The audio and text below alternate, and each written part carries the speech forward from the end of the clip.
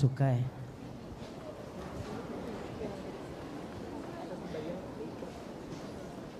Baba Askofu wetu kuu Bishop Martin Kivuva, mapadri wenzangu, Father Gregory tunayefanya kazi naye hapa katika parokia hii, Father Vincent Shumila ambaye ndiye padri anayeshughulikia eh, radio Kapchin eh, eh, TV, masista wetu ambao tunafanya kazi nao hapa katika parokia Mikindani, waheshimiwa wetu wa leo ambao wanapokea sakramenti ya kipaimara, wazazi wa hao wanafunzi, Wakristu wa parokia hii ya Mikindani na wageni wote ambao umeunganika nasi siku ya leo. Tumsifu Yesu Kristu. Mungu ni mwema kila wakati, na kila wakati. Sherehe tunayo hatuna? Tunayo hatuna? Wapi makofi na vigelegele?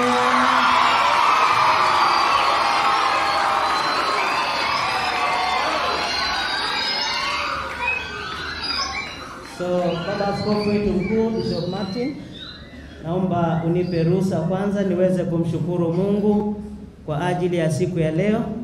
Ni siku ambayo tunasherehekea somo wa parokia hii Mtakatifu Matia Mulumba, na ni sherehe ambayo tulipaswa kuisherehekea tarehe tatu ya mwezi huu, lakini kwa sababu ya wale ambao waliweza kusafiri kwenda kule na Mgongo kwa ajili ya hija, walikuwa ishirini na wawili kutoka kwa parokia yetu.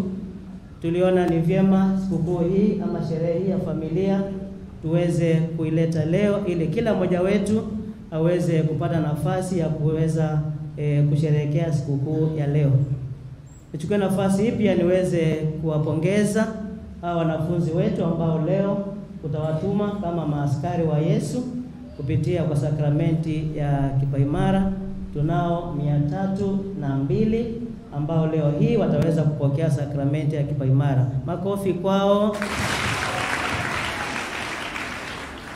Nichukue nafasi pia niweze kuwashukuru wale walimu ambao wamekuwa wakitembea nao seminari wetu, ambaye alichukua nafasi ya Sister Masi ambaye ni katekista wetu na ambaye yuko kule Bura kwa ajili ya matayarisho ya nadhiri za daima. Nichukue nafasi pia niweze kuwakaribisheni nyote katika sherehe yetu ya leo. Ni sherehe ya familia, ni sikukuu yetu na ni siku ambayo tunapaswa kusherehekea na kufurahi kwa sababu ndiyo siku ya somo kwa parokia yetu. Lakini kwa namna ya kipekee basi, mniruhusu niweze kumkaribisha baba askofu wetu mkuu ili aweze kutuongoza kwa misa hii na pia aweze kutupatia baraka katika sikukuu ya parokia yetu. Tum, tumkaribisheni baba askofu na makofi na vigelegele.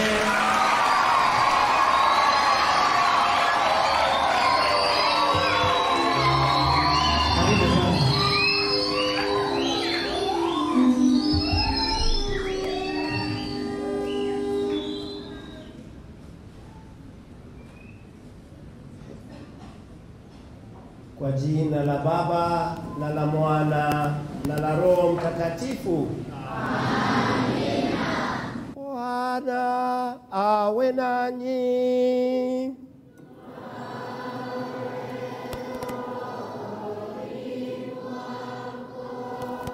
Kwa Padri ambaye ni paroko wetu msaidizi, Padri Gregory mgeni wetu na pia rafiki yetu Father Vincent Shumila ambaye ni mkurugenzi katika haya mambo ya kueneza habari kupitia runinga na kupitia njia tofauti tofauti za mawasiliano Captain TV, wote mliofika, masista wote mliofika, viongozi nyote mliofika, watoto na wazazi na wasimamizi marafiki wa jimbo letu na marafiki wa parokia hii ya Matia Mulumba.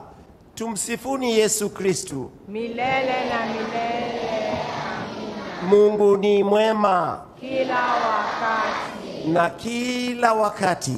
Mungu ni mwema, na hiyo ndio asili yake. Wow. So God is good, watoto. All the time. And all the time. Wow.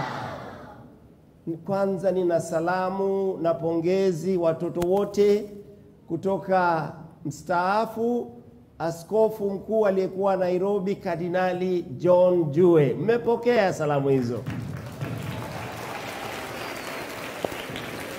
na, na akanambia akanambia niwanunulie peremende kwa ajili yake.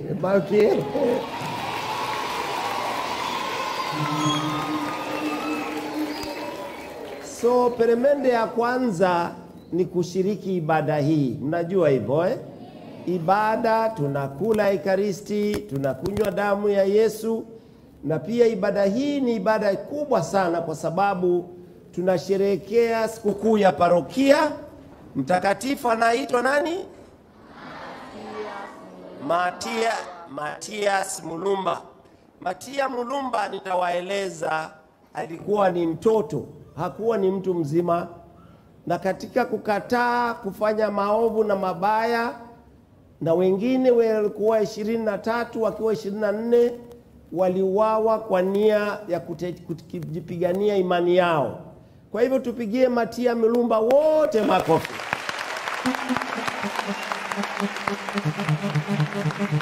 Tupigie PMC makofi.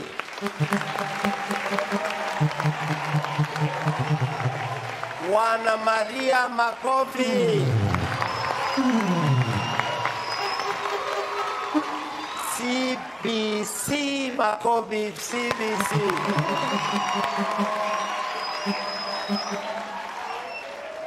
na tupigie wazazi wetu na wale waliotufundisha dini, hasa makatikista na waalimu wa imani makofi.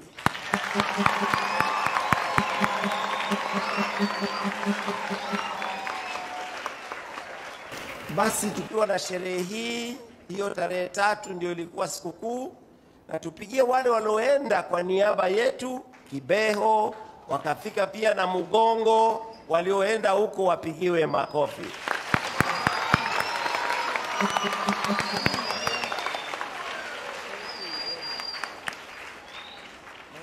Basi furaha yetu ni kwamba hawa ni watu walioishi katika eneo la bara hii yetu. Hata leo tuwaombea pia watu wa Uganda. Kama mnavyojua, juzi tu, siku kupita jana, wali watoto wengine zaidi ya arobaini waliopigwa mabomu wakatakatwa na mapanga na, maka, na magengi katili ambao walifanya hayo. Tuwakumbuke na pia kuwaombea tunapoombea sehemu mbalimbali zilizo na vita, sehemu mbalimbali panapokukosana, familia pia ambazo zinakukosana, ili Mungu naye aweze kutupa moyo wa kuwa na wenye huruma tuwakumbuke waliouawa Uganda katika hii wiki, huku tukiwaambia wana Uganda, jamani, poleni, huku tukiwaambia Uganda, jamani, tuzidi kuombea ujambazi utuondoke katika nchi zetu, na hasa vita vinavyokidhi katika sehemu za kwetu Uganda, Sudan. Mmesikia pia wengi wanauawa, wengine wameachwa bila wazazi. Tukumbuke Mungu aandamane nasi na hasa atupe siku zote e, kinga yake tusipatwe na madhara yoyote yale.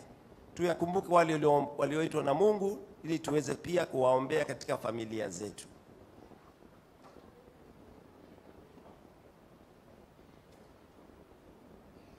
Roho za marehemu, jamaa na ndugu zetu, roho za watoto wengi sasa waliopata habari za hadhari za kufa huko Uganda, sehemu fulani waliovamiwa na roho za wengi waliopatwa na madhara katika vita vya Shakahola, vita vya sehemu ya uh, hata ya kwetu ya Sudan karibu nasi, ili Mungu awape rehema ya Mungu, wapate rehema ya Mungu, wapumzike kwa amani. Amina. Basi ndugu zangu, kina baba, kina mama na watoto, masista, viongozi, misa hii ni misa ya kutuita pamoja kama familia, tulie na unaolia, tucheke na tunaocheka, kwa sababu ni ya sikukuu yetu, na pia kuyaweka mahitaji mengi tulionayo mikononi mwa Mwenyezi Mungu. Tutubu dhambi zetu, kwani si pia ukosea umkosea Mungu kwa njia mbalimbali ili tuwe tayari kuadhimisha misa takatifu.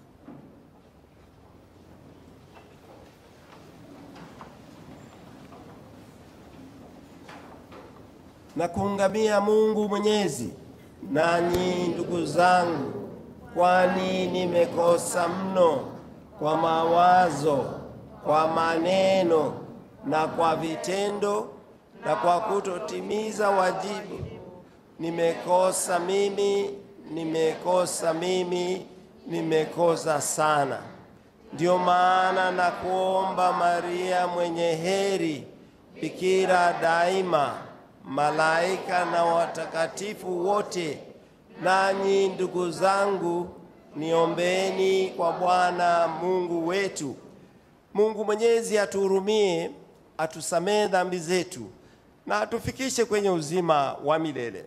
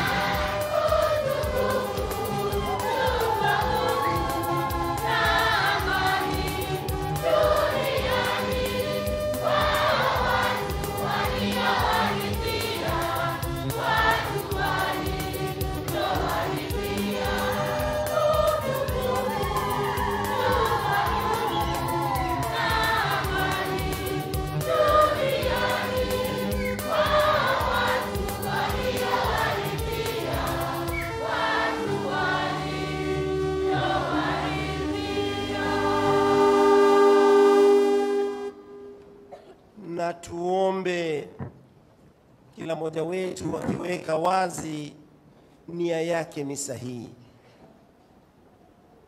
Tunaoombea familia, kwani familia ni msingi wa kanisa na wa taifa. Tunaoombea kama tulivyosema, watoto wengi wa ulimwengu mzima wanaoathirika sehemu mbalimbali kwa ajili ya utawala dhalimu au kwa ajili ya kuingizwa mambo maovu yasiyofaa. Tunaombea pia wale wote ambao ni watunza usalama waweze kuweka watoto salama kuanzia familia hadi nyanja za juu. Tunaombea pia shule za leo tukimshukuru Mungu kwa zawadi ya ushahidi wa Matia Mulumba na wenzake ishirini na watatu waliouawa huko Uganda, na tunaposhukuru kwa zawadi ya ushupavu wa wale waliotembea kwenda kuhiji Kibeho na kuhiji Uganda na Mugongo. E Mungu, umeifanya damu ya mashahidi wa Uganda na mashahidi wote kuwa mbegu ya Wakristu. Utujalie shamba la kanisa lako lililomwagiliwa damu hiyo ya watakatifu Karoli Lwanga na wenzake lizalishe daima mavuno mengi. Tunaomba hayo kwa njia ya Kristo Bwana wetu mwanao anayeishi na kutawala nawe katika umoja wa Roho Mtakatifu Mungu daima na milele.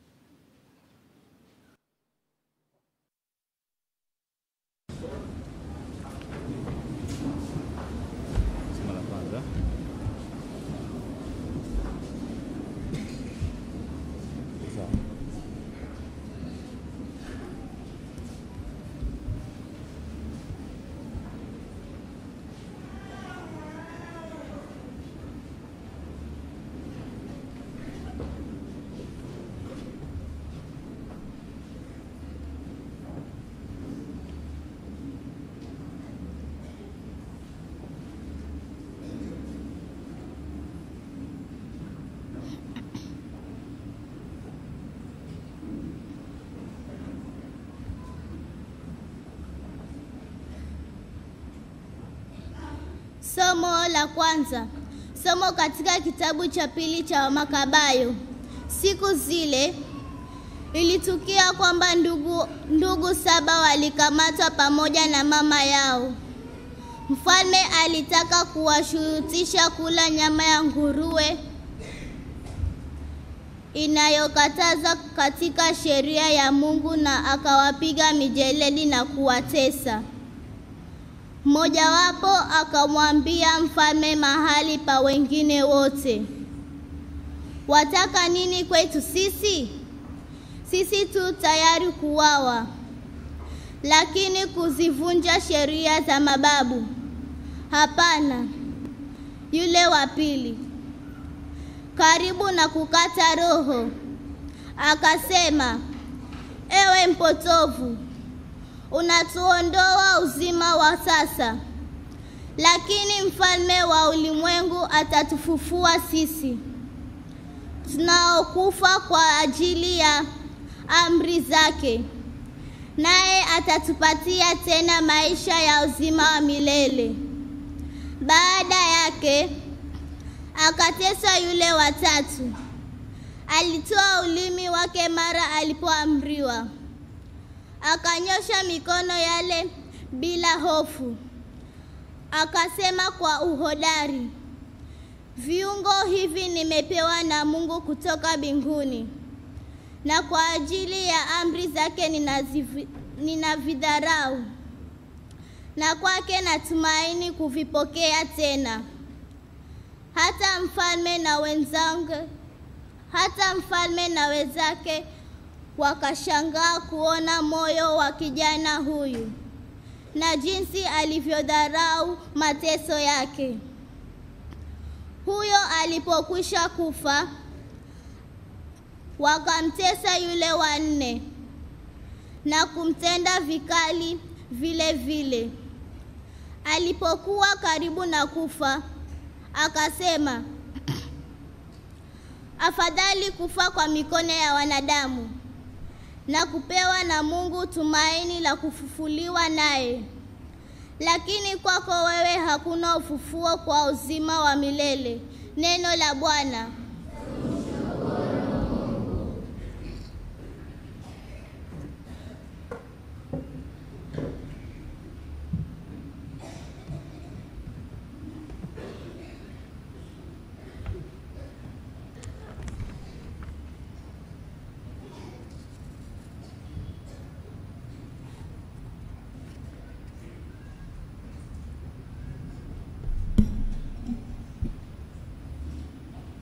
Zaburi ya kuitikizana. Niamkapo, e Bwana, nitashimbishwa kwa kuiona sura yako. Niamkapo, e Bwana, nitashimbishwa kwa kuiona sura yako. Niamkapo, e Bwana, nitashimbishwa kwa kuiona sura yako.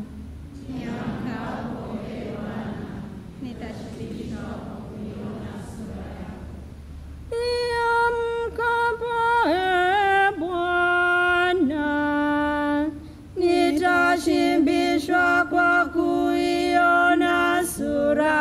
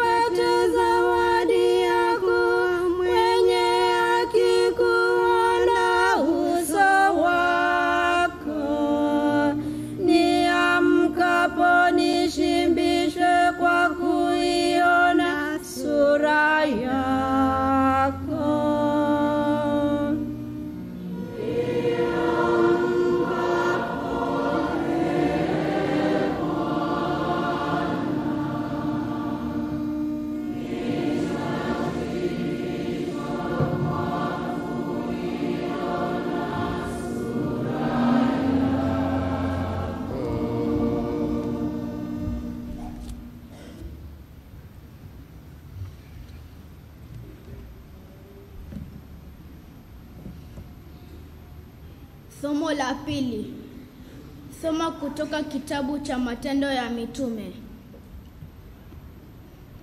Siku ya Pentekoste ilipowadia, wote walikuwapo mahali pamoja.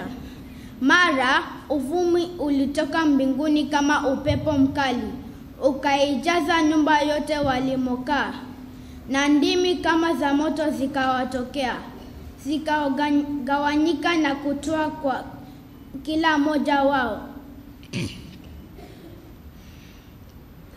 Wote wakajazwa Roho Mtakatifu na wakaanza kusema lugha nyingine kama Roho Mtakatifu alivyowajalia kunena. Huko Yerusalemu walikaa Wayahudi, watu wacha Mungu wa kila taifa lililoko chini ya mbingu. Basi uvumi huu ulipotukia, wengi walikutana wakashikwa na mshangao kwa sababu kila mmoja wao aliwasikia wanasema lugha yake mwenyewe. Wote walishtuka na wote walishtuka na kwa mshangao waliuliza, hao wote wanasema wanaosema si wa Galilaya? Kwa namna gani kila mmoja wetu anayesikia lugha alivyozaliwa nayo? Sisi Wapati, wa Media, Waelami, nasi tukao Mesopotamia, Yudea na Kapadokia, Ponto na Asia, Furigia na Pamfilia, Misri na wilaya za Libya kule, kuelekea Kirene. Pia wageni waliotoka Roma, Wayahudi na waongofu, Wakrete na Waarabu wote tunawasikia wakisema kwa lugha zetu matendo makuu ya Mungu. Neno la Bwana.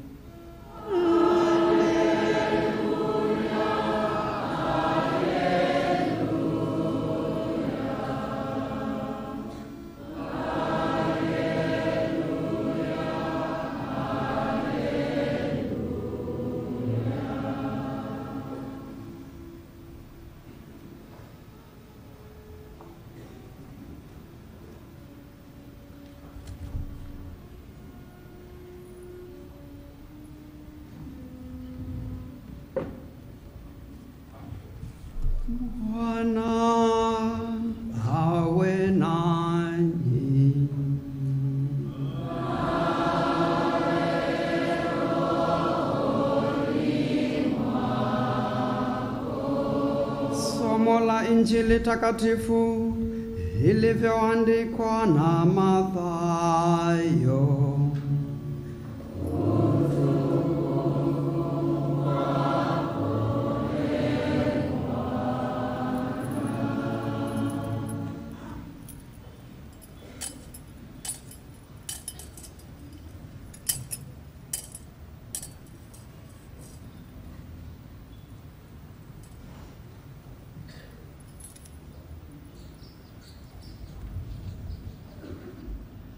Mathayo sura ya tisa. Wakati ule Yesu alipouona umati wa watu, aliwahurumia, kwa maana walikuwa wamefadhaika na kutawanyika kama kondoo wasio na mchungaji. Hapo akawaambia wafuasi wake, mavuno ni mengi, lakini wafanyakazi ni wachache. Basi mwombeni Bwana wa mavuno apeleke wafanyakazi katika mavuno yake. Akawaita wafuasi wake kumi na wawili, akawapa uwezo wa kuwafukuza pepo wachafu na kuponya magonjwa yote na udhaifu wote. Majina ya hao mitume kumi na wawili ni haya: wa kwanza Simoni aliyeitwa Petro na nduguye Andrea, Yakobo mwana wa Zebedayo na nduguye Yohane, Filipo na Bartholomayo, Tomaso na Mathayo mtoza ushuru, Yakobo mwana wa Alfayo na Thadei, Simoni Mkananayo na Yuda Iskarioti msaliti wake. Yesu akawatuma hao kumi na wawili akawaagiza, msiende kwa wapagani wala msiingie katika miji ya Wasamaria, ila mwende kwa kondoo waliopotea wa nyumba ya Israeli. Nendeni kutangaza mkisema, ufalme wa mbingu umekaribia. Waponyeni wagonjwa, wafufueni wafu, watakaseni wenye ukoma, wafukuzeni pepo wabaya. Mmepata bure, toeni bure.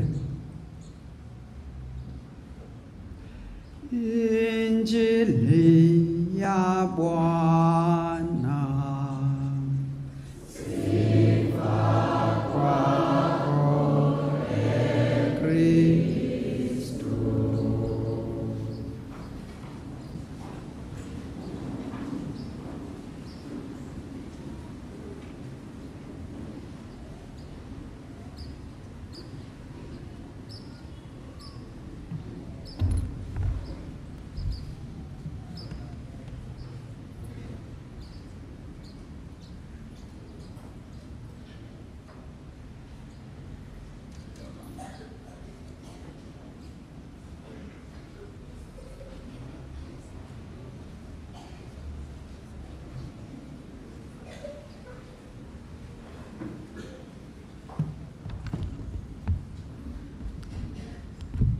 mapadi wapendwa tuliotaja hapo awali, paroko wetu na msaidizi wake Father Vincent Mkapuchini, masista tulionao, viongozi wetu walioteuliwa majuzi na wale wa awali ambao ni msingi pia wa parokia hii, kina mama na kina baba, hasa wazazi wa hawa wanaopata sakramenti ya kipaimara, wageni wetu wa karibu na wa mbali, taifa la Mungu, tumsifu Yesu Kristu.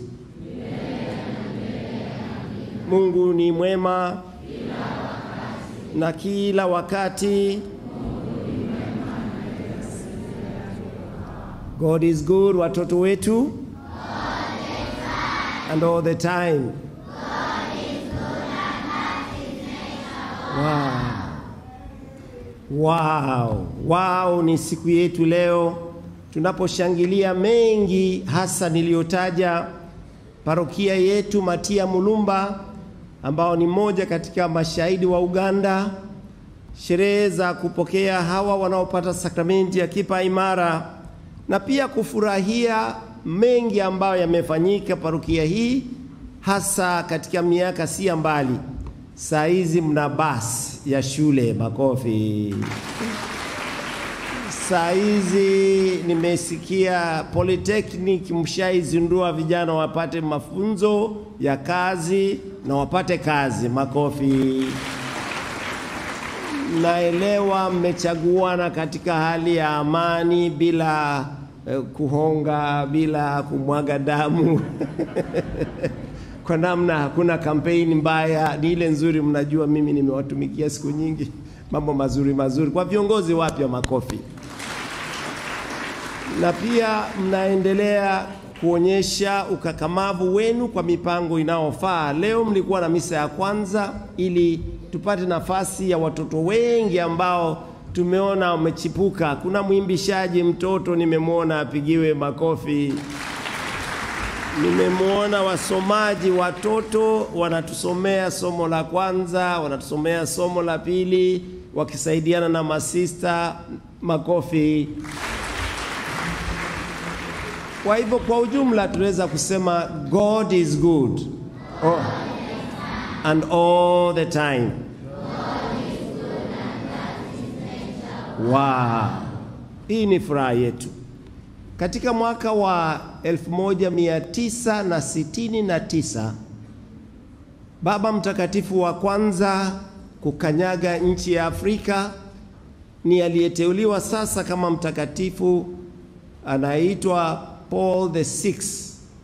Alienda Uganda kuwaombea na kutangaza rasmi hawa mashahidi waliokuwa 24 ni, ma, ni mashahidi wanaotambulika kama watakatifu waliokuwa ni watoto. Mtakatifu huyo sasa ambaye tumemteuliwa na kanisa kuwa um, e, mtakatifu aliwaambia wana wa Uganda wakati ule, Africans be missionaries to yourselves, Waafrika iweni wamisionari kwenu wenyewe. Na nafurahi kwa sababu mfumo huo ni mfumo uliokubalika kwamba tusipochunga tutajikuta bila wachungaji, kwamba leo Yesu akiongea katika somo, somo la Injili anasema mavuno ni mengi, lakini watenda kazi ni wachache. Paulo aliona hayo kwa mbali. Saa hizi katika jimbo letu, juzi nilikuwa na mkutano na mapadi wangu nikachunguza, kuna mapadi wachache wapo ambao wanaishi peke yao. Kuna padi Taru hana mwenzake tangu tangu fadha aondoke. Anahitaji msaidizi? Hahitaji. Kuna fadha Mrima, juzi tukamfungua parokia, tukatafuta padi mwingine ikiwa hakuna. Nikasema wow, this is not very good. Anahitaji msaidizi? Hahitaji anahitaji. Nikasonga nikaenda parokia inaitwa Mwakiki, mahali ambapo ni kule Taita milimani. Kuna fadha anaitwa Bambanya, anaendelea kubambanya, yu peke yake anahitaji msaidizi? Hahitaji. Mavuno ni mengi, watendakazi ni wachache. Watatoka wapi? Watatoka wapi? Ndiposa huyo mnayemwita mtakatifu Paul the Sixth akija Uganda kuwahakikishia amewatangaza watakatifu wao ishirini na wanne alivyosema, Africans be missionaries to yourselves. So ninyi mnaoniona hapa na mnaonisikiliza, that is true now over the whole world, ulimwengu mzima. Hata wazungu sasa waliokuwa tuliokuwa nao situmaini tunao tena. We do not have the Holy Ghost fathers weusi, ndio tulionao sasa. Wale wa mbali sasa tuna missionary consolata mweusi, wana parokia tatu: Consolata, Timbwani na Ukunda. Africans be missionaries to yourselves. Tuna mapadi ambao ni wa Irish waliokuwa na hapa Father Martin King, Father Dileni, Father mwingine nani mnakumbuka? Wote hawa hatunao tena. Sasa Timbwani tuna Holy Ghost Father mweusi Father Ben na na mwenzake pia ambao ni Mwafrika. Africans be missionaries to yourself. Tunawapongeza wazazi na ninyi ambao mnatusaidia kazi hii. And how can we do it? Jambo la kwanza ni kuanza kulea watoto kama hawa kwa nidhamu na maisha ya Kikristu, waweze kujitolea kuwa watawa wa kiume au wa kike. Bila hivyo tutakuwa na upungufu mkubwa sana, tutakuwa hatuna watu wa kuelekeza na kuelimisha.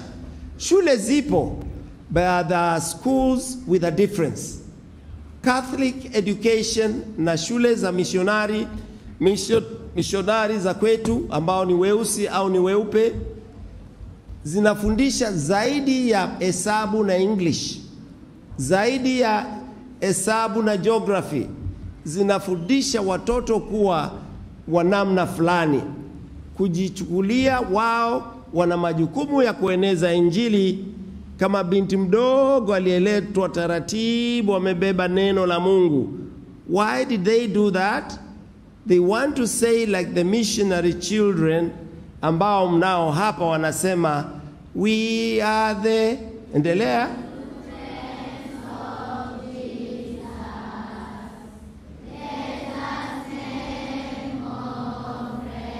So,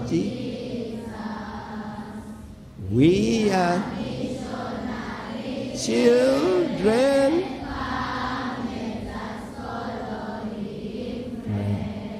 We are missionary children. Let us do what? Follow him, friends. This is the way the church grows. Na tunahitaji kushukuru Mungu kwa sababu tukifanya haya tunaona yanafanyika hapa. I am sure if today I asked how many of the children, ni wangapi wanataka kuwa masista? Tafadhali inueni mikono. You can see, you can see. Unaona wazazi, hata mzazi ameangalia akakuona eh? amekuangalia. How many watoto mnataka kuwa mapadri? We, you see? But between their will to become nuns or to become Christians, tuna kazi kubwa wazazi, si ni kweli? Why watoto wa Uganda waliuawa kwa nini? Waliuawa kwa sababu wao walikuwa na imani na wakataa kataa hii mambo ya LGTB plus Q na mambo yale mnayoyajua. So we have to remain firm on these matters. Na ukweli ni kwamba watoto wetu mkialelea hivyo, they will also be members of parliament. Ni wangapi wanataka member pa parliament hapa? Si wako? But they will be different members of parliament, si ndio? Ni wangapi wanatakuwa madaktari hapa? Wako. You see? But they will be a different kind of madaktari. Si anakwambia unaumwa na kichwa naye anajua uumwi, hebu mchotee tu ile ile ne? Tuachie hapa. So the point is we are here to make our next generation and I am so happy mmeweka kando tuwaangalie na kuwaombea mazuri, si ni kweli? Kwamba we must from now, not just now. That's why the missionaries came. That's why they brought us the word of God. Itufundishe kuishi maisha ambayo ni kielelezo chema. Tukilelea watoto wetu kwa maisha kama haya ambayo tunawahimiza kusali, tunawahimiza kupendeana, tunaingiza kusikia lugha mbalimbali.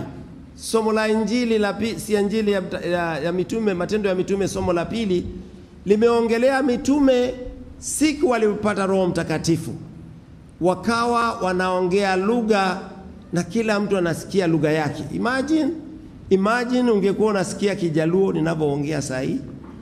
Imagine I'll be speaking fluent Kijaluo, fluent Kikamba, fluent Kikuyu, fluent Kijal, eh, ki, Kitaita, fluent ki, eh, zote lugha zote. The point is you and I you can do it. Mtu akiona uh, mwenzake anayefanya tendo zuri na jema linalomtia moyo you don't have to speak any language you can see it ukiona mtu akiinua mwenzake amekwama you say wow kweli huyo mama ana huruma unaelewa kwa lugha yako mwenyewe. Unayeona mtu anayepelekea chakula mtu ambaye hana chakula unasema ai huyu mama hata hana, yeye mwenyewe hana nguo. Tukiangalia wardrobe zetu juzi niliangalia zangu my goodness the number of t-shirts. Oh my goodness. Kila mahali nimepewa t-shirt moja nikasema hizi t-shirt nitaunda timu mbili. Niende shule mahali pale niwaambie hizi t-shirt kila moja avae. Hii ni timu ya askofu na wao wajenda zao you know what I mean? so we must be creative and also able to kupambana na hali za uovu unaotusogelea. Uovu haukai mbali nasi. Yaliyotajwa Shakahola na naendelea kutajwa ni jambo la aibu katika nchi zilizoendelea. Wamefikia zaidi ya watu mia tatu na thelathini na sita waliofukuliwa wamefariki, wameuawa, na everybody is asking who did it. Surely mnaweza kusema hakuna anayejua, si wako wanaojua, lakini something happened in between. Kuna msemo wa Kichina unaosema when truth sorry when money speaks truth keeps quiet, kwamba ukweli ukiongea, uh, hela zikiongea, ukweli ufunga kinywa. That is called ufisadi, si ndio? Ufisadi wetu ndio unafanya mambo mengi sana yanakwama, na ukisikiza kuna mbinu mbalimbali zinazoendelea. So why that happened? Sasa watu wa watu walitumiwa labda vibaya, kina Makenzi wakaambiwa wewe sema watu hao, whatever the reason is. Na pia kuna wengi ambao pia wanatumiwa vibaya na huyo muovu shetani.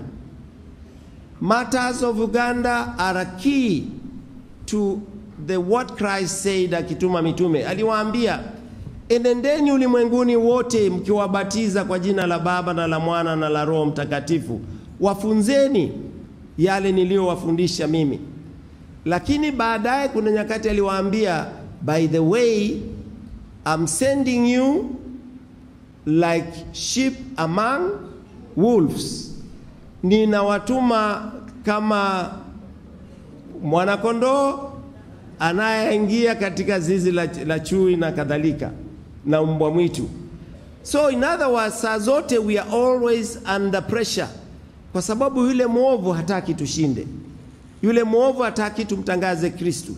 Yule mwovu hataki tuweze kuwa vielelezo vyema katika maisha ya sasa. Kama ninavyosema mwanzoni, ukiangalia Uganda hii hii, and that's why we are here to say pole to those uh, people in Uganda. Nafikiri ni karibu na mji wa Kasese ambapo watoto wengi walivamiwa juzi tu na wamevamiwa na watu wazima wenye akili. You wonder what is wrong.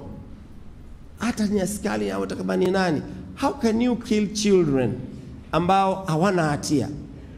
But sio wa kwanza. Mfalme Herode, mnakumbuka stori yake. Yesu alipotajwa kwamba you know, kuna, kuna mtoto hapa amezaliwa huenda akawa king baadaye, so ule mle anataka kuwa makingi, chungeni chungeni. He took on kuua watoto wa mwaka mmoja miaka miaka mitatu just in case Yesu was a little man among those. Naye Mungu si Asmani, alikuwa amejia Maria na Yusufu akawaambia, ondokeni haraka sana, kwa sababu yule mfalme ametaka kuangamiza roho ya huyu mtoto. So what did they do?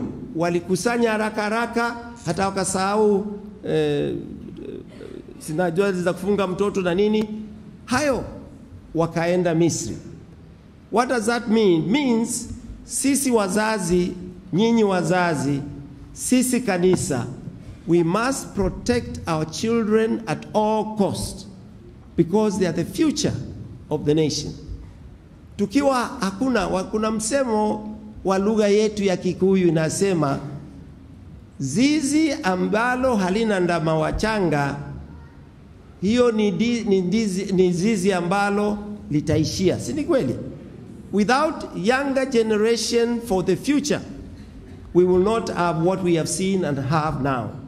Hatungekuwa na mapadri, hatungekuwa na watawa, hatungekuwa na wazazi, because ukitaka kuona nchi ambazo zimechanganyikiwa zipo nyingi sasa. Watu wamechukua sheria mikononi mwao.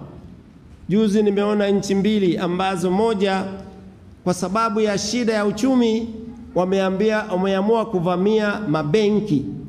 Wanaenda benki, wanasema mimi juzi nilileta sadaka yangu hapa, natoka kule Matia Mlumba, tumeweka sadaka yangu, nipeni. Msiponipa mtaniona. Wakachachiana mpaka mwishoni wanavamia, pengine wamechoma because of problems and issues of leadership, uongozi mbaya. Rafiki yangu moja alisema siasa mbaya, maisha mbaya. So we must take charge. Kataa kutumiwa vibaya, kataa kutumiwa vibaya, na ni muhimu sana kwa sababu the call of duty kama Mkristu, you have to be alert 24/7. Tunaelewana? 24/7. Why? Kwa sababu yule mwovu saa ile unasinzia ndio nakuvamia. Tuwe macho ya kiimani, tuwe imara katika maisha na matendo yetu, tuwe siku zote, tusidanganywe na mambo madogo madogo. Madogo kivipi? Hata mama anakuachia uuzie yeye eh, tomato zake, unakwambia hii toto, tomato hii ni 10 shilling, mtu akija anambia nipe 15 Si unaona? Very small thing eh? Kule sokoni mahali fulani. Just small thing. Kwa sababu umemwambia ni 10, anasema na mimi hapa nitajipatia. Hii shilingi tano ni yangu, hii kumi ni yake. See, small things, but that's how we start going wrong. Tunaalikwa na kanisa leo kuombea wachungaji, kuombea watendakazi, kuombea viongozi wema kama tunaotamani kuwa nao siku zote, while I thank those tunao wanaojaribu. Tukumbuke tena na pili, mwisho, katika misa hii tunakumbushana ujasiri wa watoto. Can you imagine? How about sisi watu wazima? Because niliwaambia siku nyingine, monkey see, monkey do. Nyani akiona unafanya hivi na yeye anajikuna. So mara nyingi utaona mtoto anaanza kutembea tabia, unashangaa hii tabia ameipata wapi? Many times, many times ni kwa wale anaoshinda nao, wale wanaoshinda nao. Kuna msemo wa Kifaransa unaosema payutinda na mukundu akalia kukunduka, maana maana kwamba ukikaa na mtu mwenye korona atakuambukiza, si ni kweli? Ukikaa na juzi, jana nimeenda Taita, nimerudi na homa kali, kwa sababu moja niambia chukua chai, lakini mimi nina, nina mafua tayari, amenipa mafua.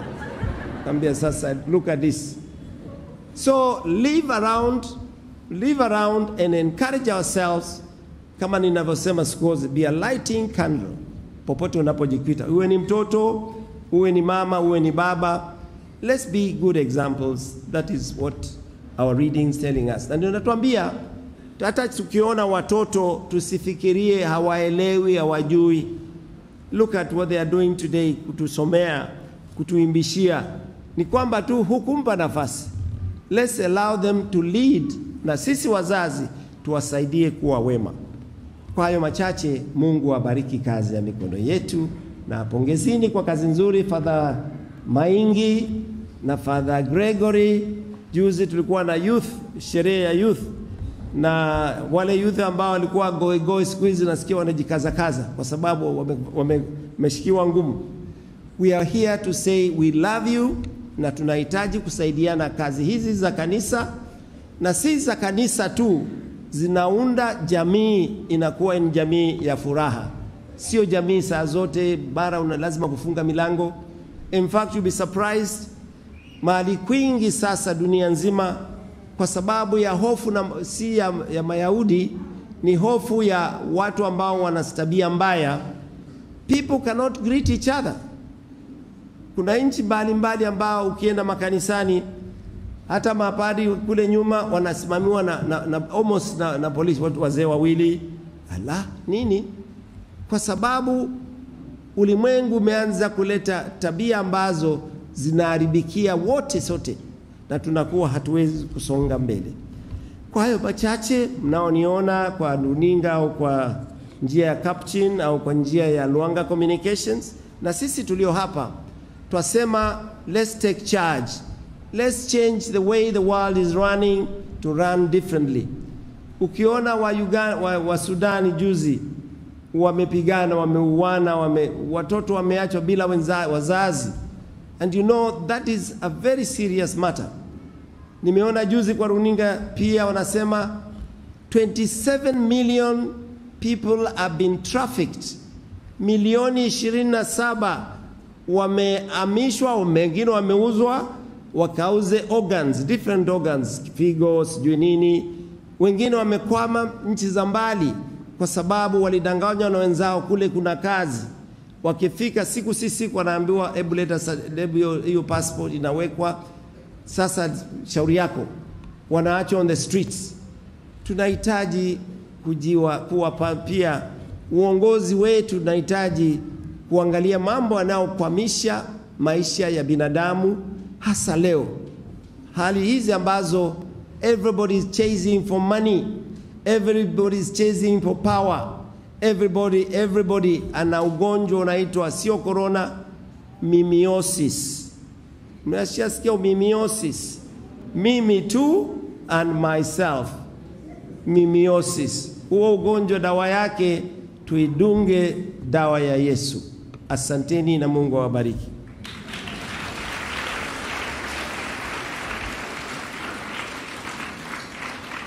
Kwa wakipaimara ni wakati wenu sasa. Tunaambiwa sakramenti hii walijiwa Roho Mtakatifu. Tusimame wote wakipa imara, tutawahoji kwa pamoja mawili matatu, na la kwanza huwa ni ile tu la kwanza, sakramenti ya kipaimara ndiyo nini?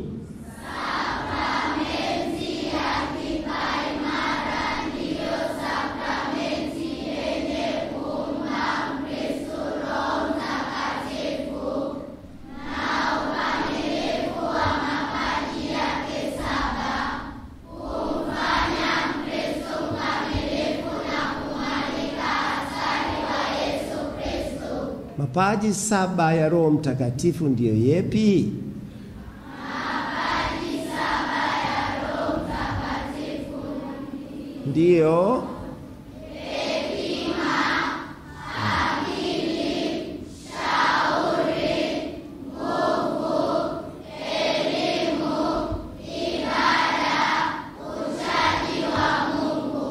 Uchaji wa Mungu ndiyo nini?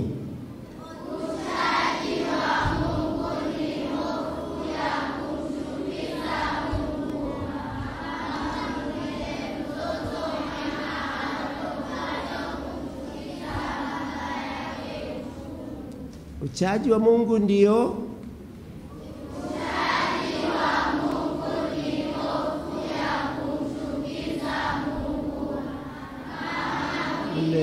mtoto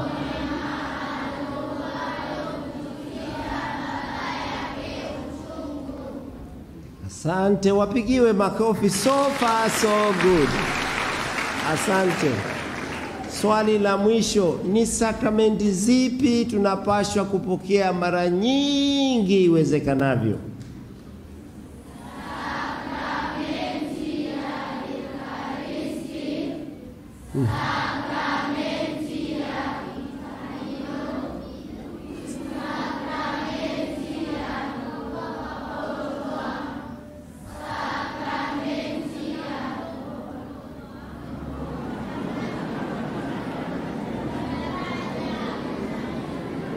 Tutarudia tena, wazazi wajue, mnajua mmekoseana koseana kidogo. Ni sakramenti zipi tunapaswa kupokea mara nyingi iwezekanavyo? Ya kwanza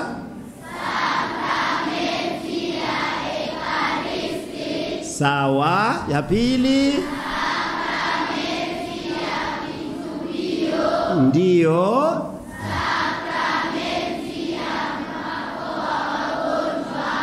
Ndiyo.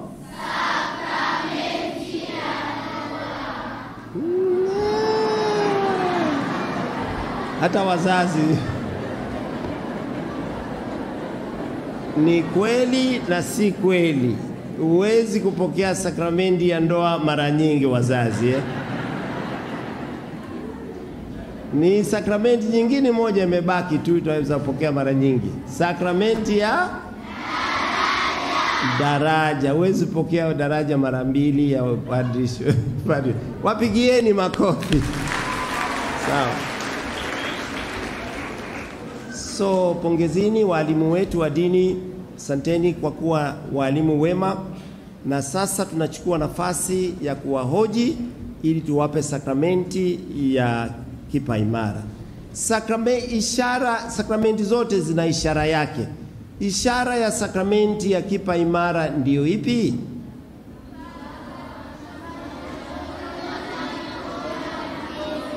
Kuwekewa mikono na kupakwa mafuta ya krisma takatifu. Ehe, makofi sasa hapa.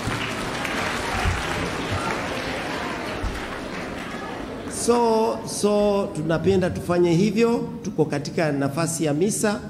Kwa hivyo, wanakwaya, mkituimbia wimbo wa Roho Mtakatifu, hawa wataanza kuangalia kama majina wanaotaka kuwekwa yapo, na kwa kuwa wako wengi, tutawabariki kwa pamoja, na mwishoni mtakuja laini mbili mbili ya wavulana na ya wasichana kuwapaka hayo mafuta. Nitaalika mapadi hapa mbele tuweze kuwaombea Roho Mtakatifu na awashukie. Wimbo wa Roho Mtakatifu.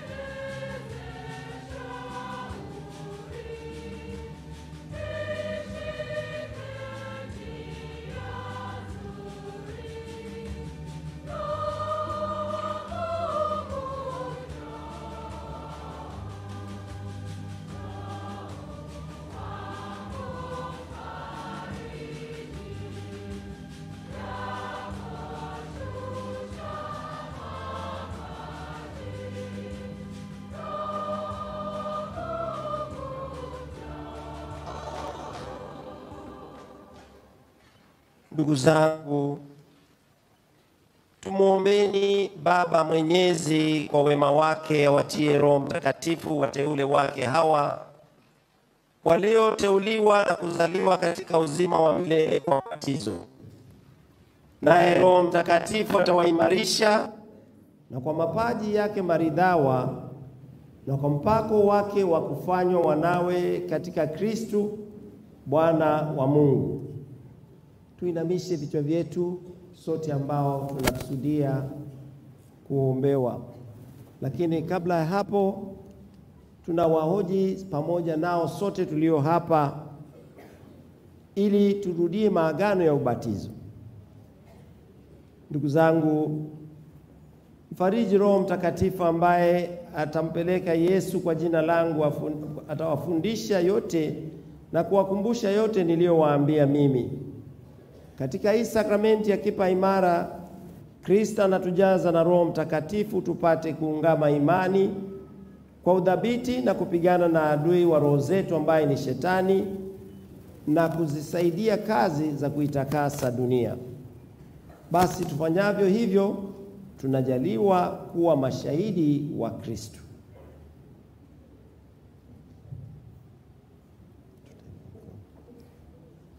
Sasa wote tusimame, turudie maagano na hawa wanaopata sakramenti ya kipa imara. Ninyi ambao mmekuja kupokea sakramenti ya kipa imara na sote ambao tumekuja kushiriki ibada hii pamoja nao, na tunarudia sote ahadi za ubatizo. Wengi zilifanywa na wazazi wetu tukiwa wadogo au wasimamizi, na wengi walifanya akiwa watu wazima. Basi sote, je, mnamkataa shetani na mambo yake yote na ila zake zote? Mwakataa uganga, mwakataa uchawi, mwakataa ushirikina, mwakataa mambo yote ya usuyo shetani. Na je, mwasadiki kwa Mungu Baba Mwenyezi, muumba mbingu na dunia? Mwasadiki wa Yesu Kristu mwanaye wa pekee Bwana wetu aliyezaliwa na Bikira Maria, akateswa, akafa, kazikwa, akafufuka katika wafu na amekaa kuume kwa Mungu Baba. Mwasadiki? Mwasadiki kwa Roho Mtakatifu, Bwana namleta uzima, mtakayepewa leo kwa namna ya pekee kwa njia ya sakramenti ya kipa imara, kama walivyopewa mitume siku ya Pentekoste. Mwasadiki? Mwasadiki kwa kanisa Katoliki takatifu, shirika watakatifu, maondoleo ya dhambi, ufufuko wa miili na uzima wa milele. Basi hiyo ndio imani yetu, hiyo ndio imani tunayoona fahari kuiungama katika Bwana wetu Yesu Kristu. Tunaomba hayo kwa njia ya Kristu Bwana wetu. Basi tuinamishe vichwa vyetu tuweze kupata kuombewa ushukio wa Roho Mtakatifu na wengine tuliopokea sakramenti hiyo kuzindua ile neema ya sakramenti ya kipa imara.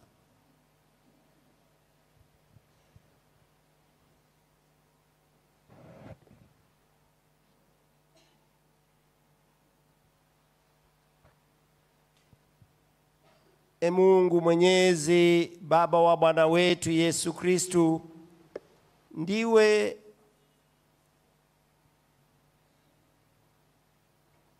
uliyewazaa upya watumishi wako hawa kwa maji na Roho Mtakatifu, ukawaondoa katika dhambi. Basi e Bwana, uwatie Roho wako Mtakatifu mfariji uwape vipaji cha Roho Mtakatifu cha hekima na akili, uwape kipaji cha shauri na nguvu, uwape roho wa elimu na ibada, uwajaze roho wa uchaji wako. Tunaomba hayo kwa njia ya Kristu Bwana wetu. Amina. Na Roho wa Mungu Baba na Mwana na huyo Roho Mtakatifu ashukie na kukaa nanyi daima na milele. Basi wote waliowekwa ekewa mikono na hasa hawa wapya watapakwa sasa mafuta. Wengine tunaweza kuketi tuombe wale wazee wetu wapangane mahali wachukue sadaka, tunapoendelea na kuwapaka mafuta, huku tukinyimba nyimbo za Roho Mtakatifu.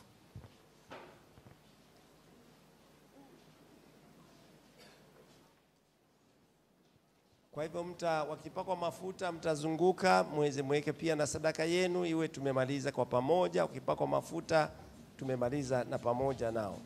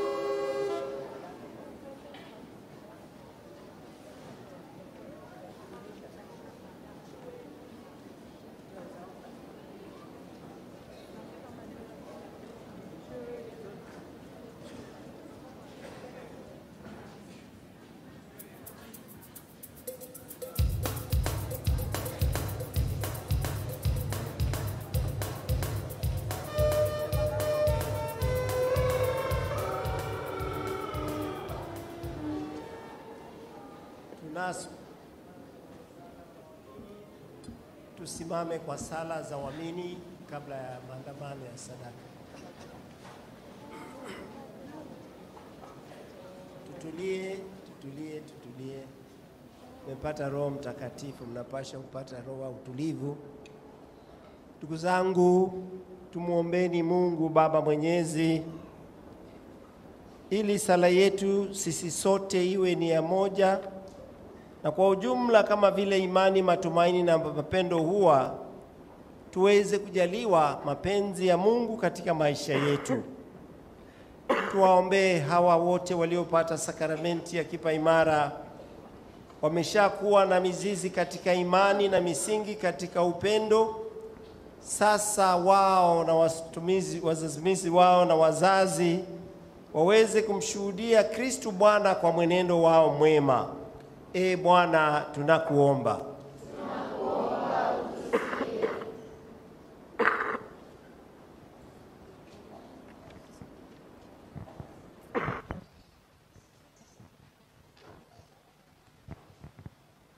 mboya ya kipembeo asamu yai nimupeana utanu mwingi kiokoni cha umunziu twakoma na uthaithini osapina ngatho na nguma. Athima mutheu mathia mulumba muungami wa kithembeoki athima mutheu papa francis askofu waitu martin kivuva athembi onthe athembi ma, Father Maingi na Father grigory masista saitu wa seminari na athukumi onthe alama mauthukuma niupoya asamu yai umathime asei ma athembi onthe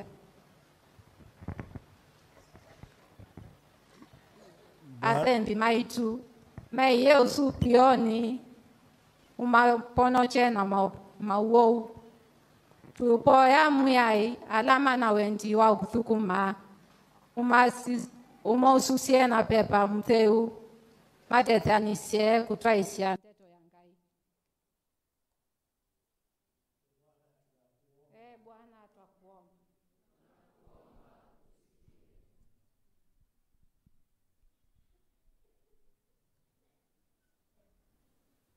E Baba Mlungu, unaza mberezo. Ukiareha damosini mikononi mwako. Kuna ngine kama mmanya Mlungu.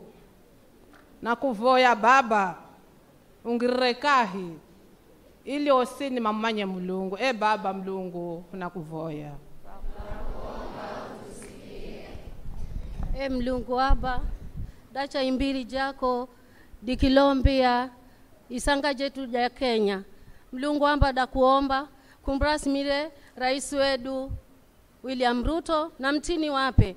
Na bose bo abaje beka nyuma yavo mlungu baba mwenyezi kumneke ndigi na hekima ili viete kutesia vandu vako vaisanga jako bose. E mlungu aba pia vaisanga vose da dakulomba kuvitesie ili mungu ku- kuvineke lukundo lako ili vitesiane siweni na visiveni e mlungu aba twakulomba. Kuombea wagonjwa anyasaye wonwa manyalo gikmoko duto agoyo ni erokamano kuom ngima miseme wodo chieng' ma kawuono walemo ni jogo duto matuo mane udi mane osuptande kendo mane e kindwa kae mungu baba akwayi mondo imigi te ngima kendo ka giriwore romo wa ngima wababedo maber e mungu tunakuomba. Sara kwa ajili ya mahitaji mbalimbali kwa lugha ya Kikuyu. Jehova turakurehera athii yothe matongorie magia na thabarĩ njega arĩa matarĩ na mawĩra ũmahe mawĩra. Kũrĩa gũtarĩ thayũ ũrehe thayũ waku arwaru othe a kĩroho na kĩmwĩrĩ ũmahonie. E baba tunakuomba. Ohusavira vahurangira nasaye baba husavira vahurangira hurula musialo sino. Nende mioyo kiosi kiri muprigatori nasaye baba ovaulusie e bwana tunakuomba Naomba utusikie tuliosali kwa imani tukiomba msaada wa Mtakatifu Matia Mulumba na watakatifu mashahidi wa Uganda wote ambao wametupa nafasi ya kutambua unapenda siku zote tuwe na ushahidi popote tulipo. Pokea pia na mahitaji yaliyowatesemwa wazi na yaliyo katika mioyo yetu, na wengi waliotuomba tuwaombee, wa Uganda, wa Sudan, wengi ambao wamepata changamoto za kuishi sehemu waishio sasa na wamepurukushwa kwa sababu ya vita vya ndani kwa ndani. Tupe kupokea yale tunayohitaji na yale unaona na tunastahili, kwani sisi ni viumbe tu. Twamwomba mama yetu Maria aliyeomba kwa ajili ya mahitaji ya wengi waliokuwa hawana, hawana divai, wanao na mahitaji ya kuwa na mama zao, ili tupatapo maombe, msaada wa maombezi yake yote yaweze kuandamana na maelekezo yako. Salamu Maria, mmebarikiwa kuliko wanawake wote, na Yesu mzao wa tumbo lako mmebarikiwa. Maria mtakatifu, mama wa Mungu, tuombee sisi wakosefu. Tunaomba haya yote kwa njia ya Kristu Bwana wetu.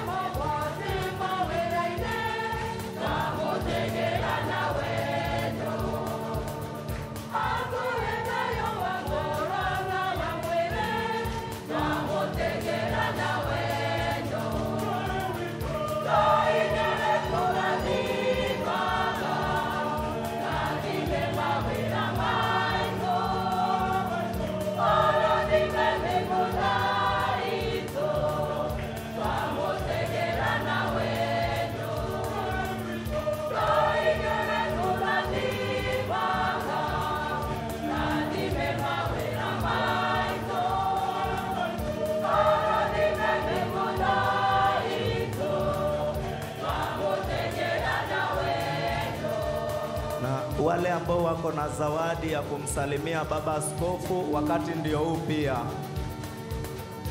Mazao pamoja na kumsalimia askofu, wakati ni sasa.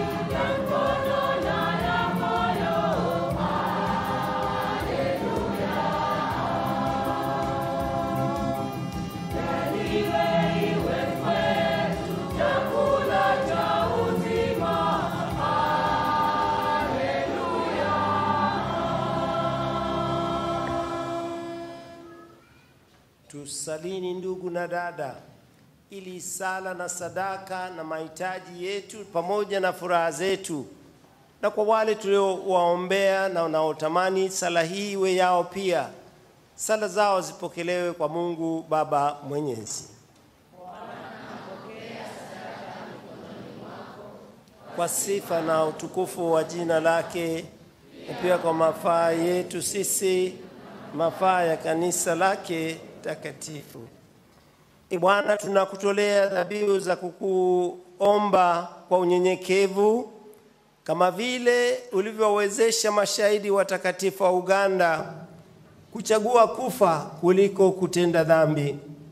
Hivyo basi, utuwezeshe na sisi tuliojitoa kwako kwa moyo wote, tukuhudumie altareni yako. Tunaomba hayo kwa njia ya Kristu Bwana wetu. Bwana awe nanyi.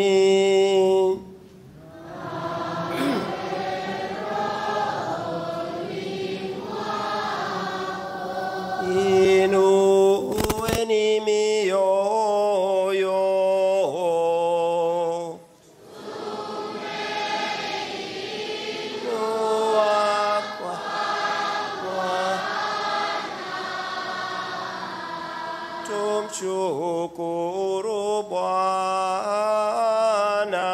Mungu wetu.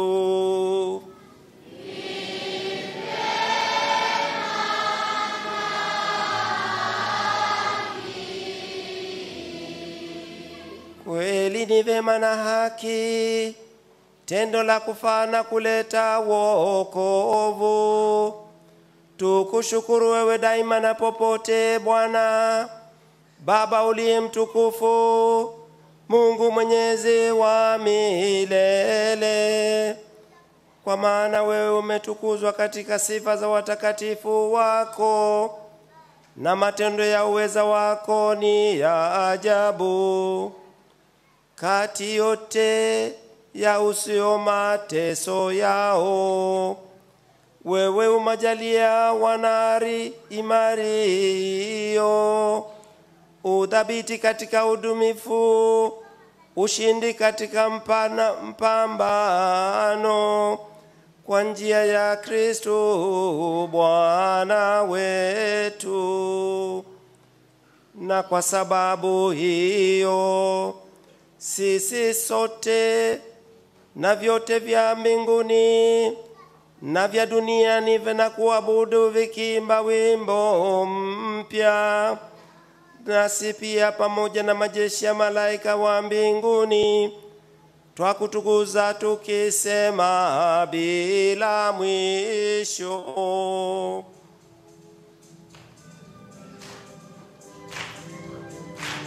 Namba, namba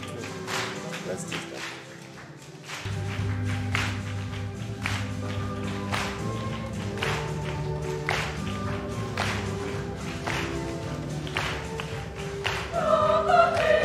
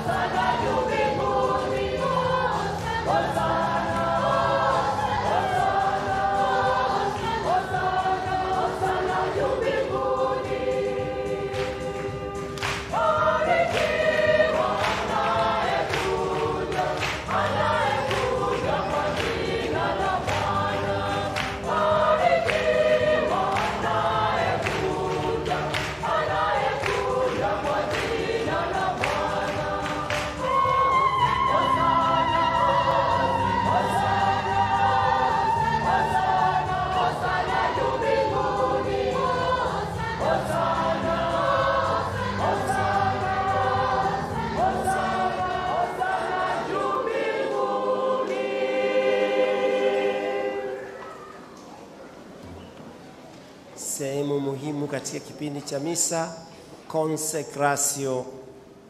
tunapoombea mimi na mapadri waliopo mkate huu kuwa mwili wa Kristu, chakula cha safari yetu, damu hii, divai hii kuwa damu ya Kristu, ambao ni kinywaji cha kukata kiu ya hamu ya Mungu na kuwa saa zote tukitamani na kuwa na Kristu karibu.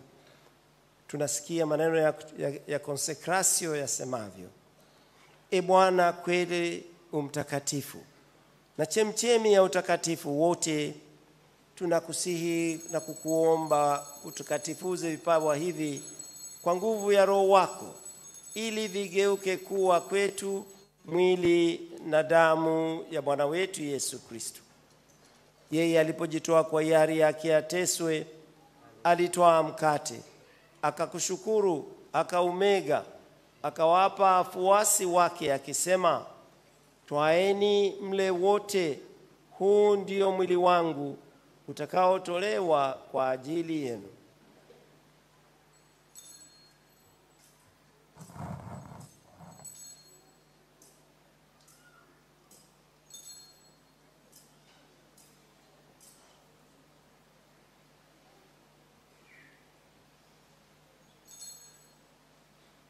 Vivyo hivyo, baada ya kula, akatwaa kikombe, akakushukuru tena, akawapa wafuasi wake, Aeni mle mnywe wote, hiki ni kikombe cha damu yangu, damu ya agano jipya la milele, itakayomwagika kwa ajili yenu na kwa ajili ya wengi kwa maondoleo ya dhambi. Fanyeni hivi kwa ukumbusho wangu.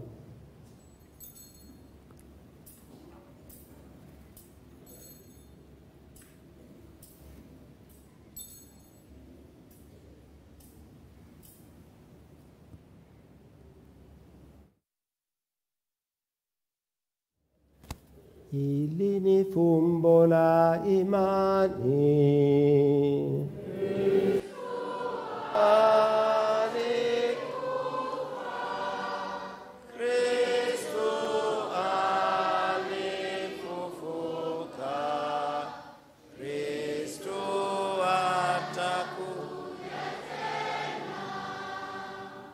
Kwa hiyo e Bwana, tunapokumbuka ufuko ukumbusho wa kifo cha ufuko wake mwanao, tunakutolea mkate wa uzima na kikombe cha wokovu.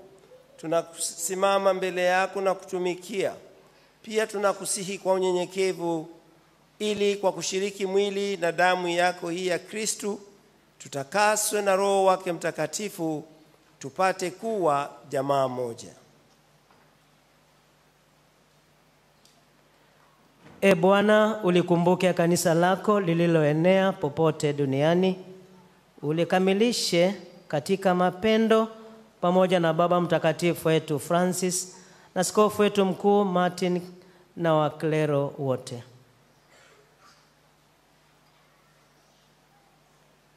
Wakumbuke pia ndugu zetu waliofariki dunia wakiwa na tumaini la ufuko na marehemu wote waliofariki dunia katika huruma yako, wapokee kwenye nuru ya uso wako, na kuomba utuhurumie sisi zote, ili pamoja na Maria Bikira mwenye heri, mama wa Mungu, Mtakatifu Yusufu mume wake huyo Bikira, mitume wenye heri, Mtakatifu Matia na watakatifu wote waliokupendeza tangu kale, kustahili kushiriki uzima wa milele na kukusifu na kutukuza kwa njia ya mwanao Yesu Kristo.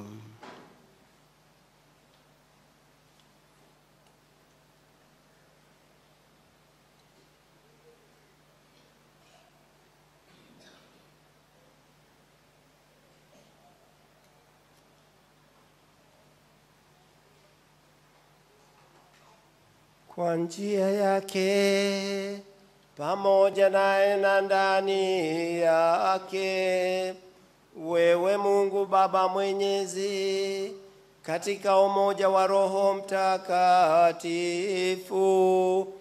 unapata heshima na utukufu wote daima na milele.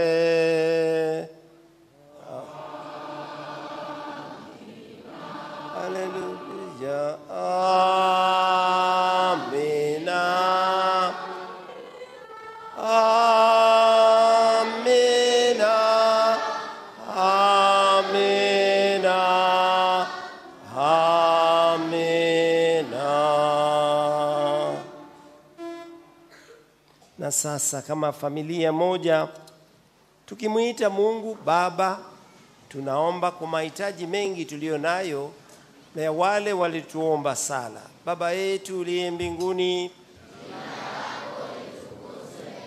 falme wako ufike, utakalo lifanyike duniani kama mbinguni.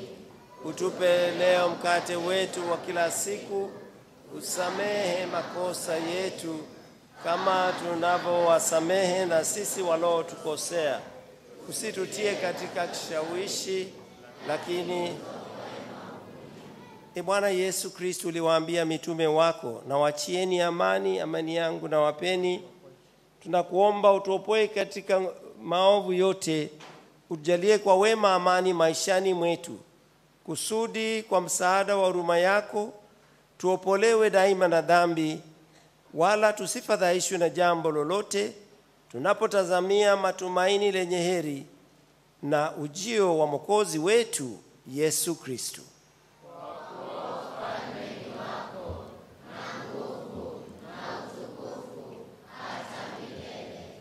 Tuombee amani familia zetu. Hapo mara nyingi hutokea chacha cheche. Tuombee majirani wetu ambao wanahitaji sana amani ya Kristu, Sudan, DRC Congo, sehemu tunazojua za Uganda sasa, Somalia na kwengineko, Ukraine na Russia na nchi nyingine zinazo changamoto nyingi. Amani hiyo inaanza kwa kuile ya Kristo alituambia amani kwetu. E Bwana Yesu Kristo, uliwaambia mitume wako, amani na wachieni, amani yangu na wapeni, usizitazame dhambi zetu, ila tu imani ya kanisa lako. Lijalie amani na umoja kama alivyo mapenzi yako, unaishi na kutawala daima na milele. Na amani ya Bwana iwe daima nanyi. Mpeane amani.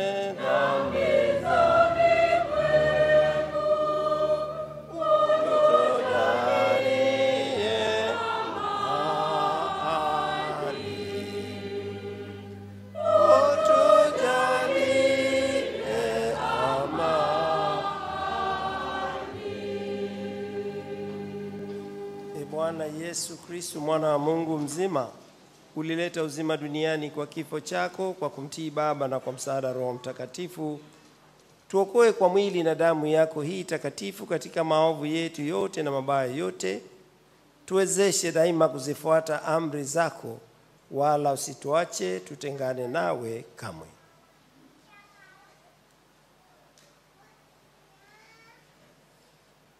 Tazameni mwana kondoo wa Mungu, Kristu yule aondoaye dhambi za dunia. Heri wenye kualikwa kushiriki karamu ya Bwana. Ee Bwana, sistahili ingie kwangu, lakini sema neno moja tu na roho yangu itapona.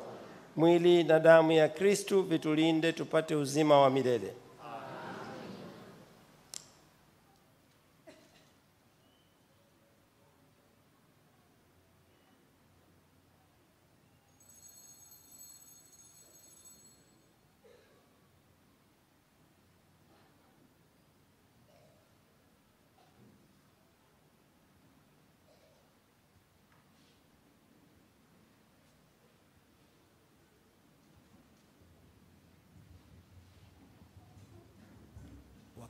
Imara mtakuja jinsi mlivyokuja wakati wa kuombewa na kupakwa mafuta laini mbili. Nitakuwa na Padre Gregory, tuna mapadi wengine watasaidia nje, sehemu za nje. Tunaomba masista wawili wasaidie pia kupokelesha. na pia ni kwa wale Wakristo wa Katoliki ambao wamejitayarisha kupokea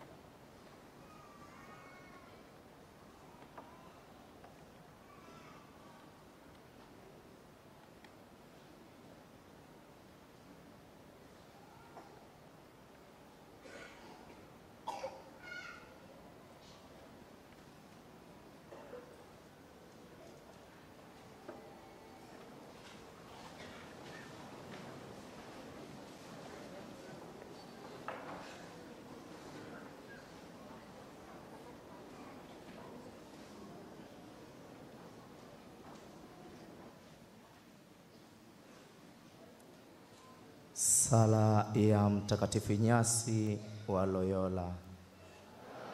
Kristo initakase, mwili wa Kristo niokoe, damu ya Kristo nifurahishe, maji ya ubavu wake Kristo yanioshe, mateso ya Kristo nguvu yanizidishie. E Yesu mwema, unisikilize, katika madonda yako unifiche, usikubali nitengwe nawe, na adui mwovu nikinge. Saa ya kufa kwangu uniite, uniamuru kwako nije, na watakatifu wako nikutukuze milele na milele.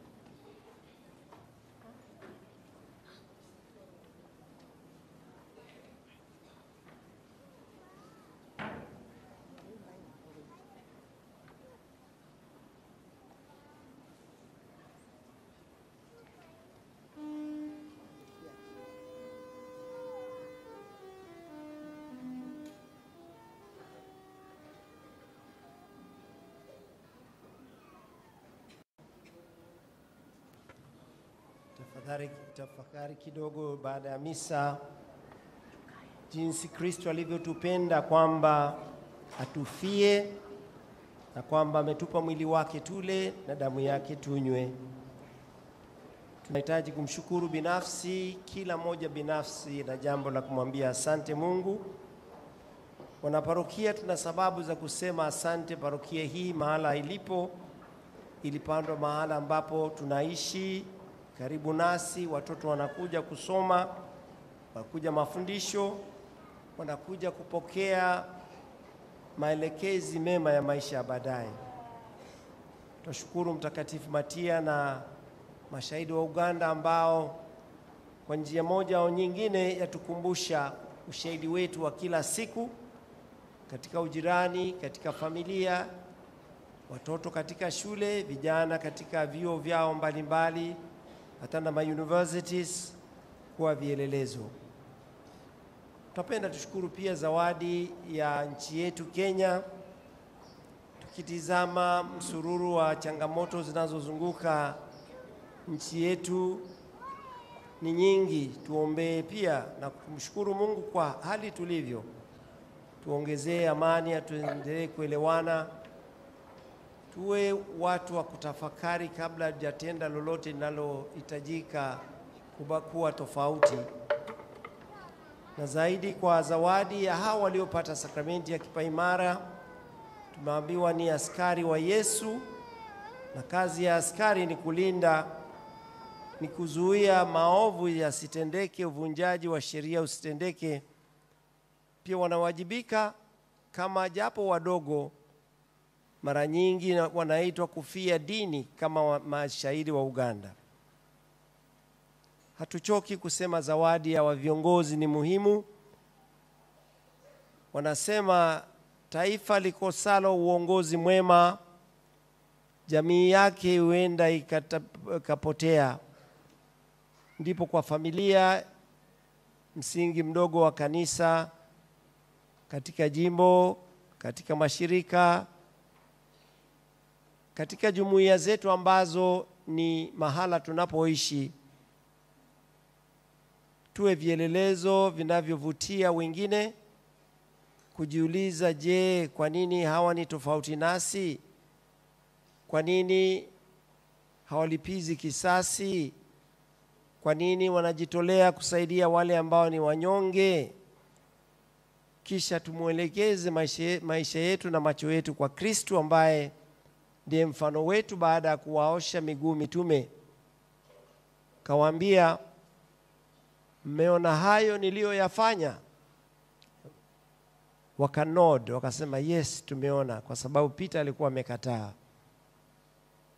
Kama mmeona, nendeni nanyi mfanyeni vile. We are called to be witnesses of the resurrected Christ ambaye amefufuka. Mwili wake unapenya kuta, unapenya umbali sisi nasi tunaalikwa tupenye kuta za vizuizi ambavyo vinatuletea watu kutosonga mbele, iwe ni uongozi mbaya, iwe ni ujirani mbaya, iwe ni nafasi ambazo tumejaliwa tunazozitumia vibaya. Kwa njia pekee tuwaweke viongozi wote tuliowachagua, ni wengi kuna, kuna walio katika serikali, kuna walio katika upinzani. Siku zote tutafute mema kwa wote.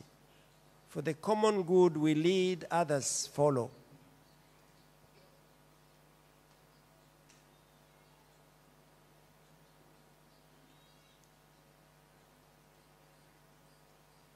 Furahini ninyi nyote mlioangazwa na kuionja kipawa cha mbinguni na kwa kuwa mmekuwa washiriki wa Roho Mtakatifu, furahini na tena furahini. Na tuombe. E Bwana, umezidi kutujalia baraka zako, hata siku zijazo hawa waliopakwa mafuta ya Krisma takatifu na kupawa Roho Mtakatifu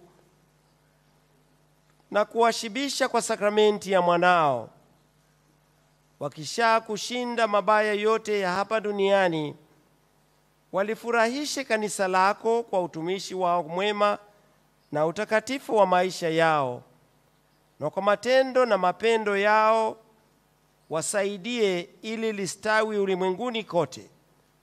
Tunaomba haya kwa njia ya Kristu Bwana wetu. Baraka na kisha tuketi.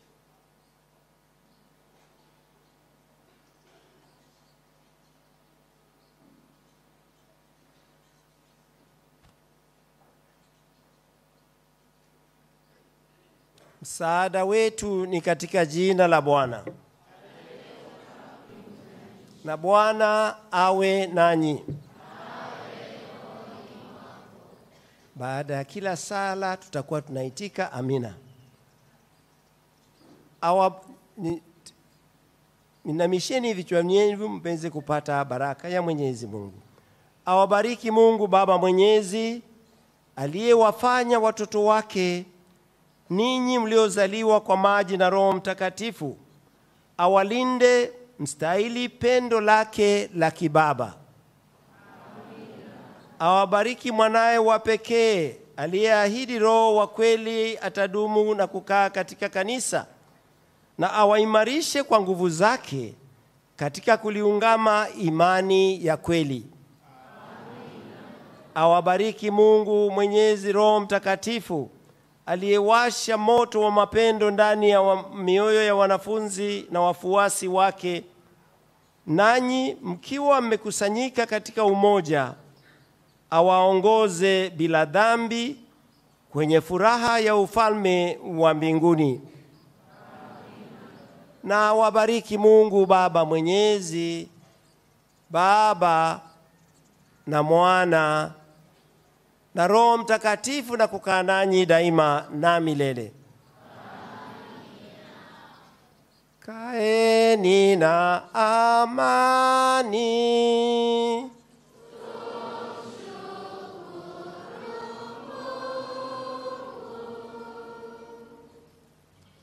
Basi tukiimba wimbo wa furaha, ni baraka, ni baraka, ni baraka, ni baraka, tutaalika wote wa uh, wasichana wa kike tupige picha yao moja hapa.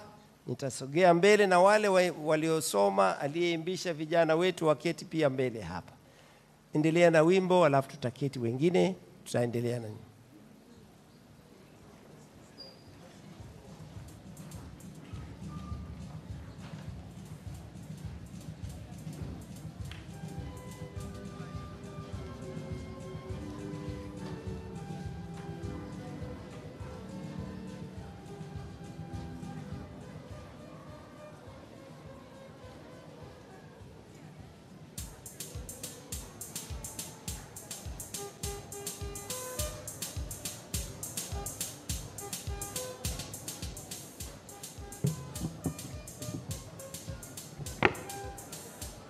Wasichana tu, wasichana peke yao kwanza. Eh, wasichana wakuje kwanza.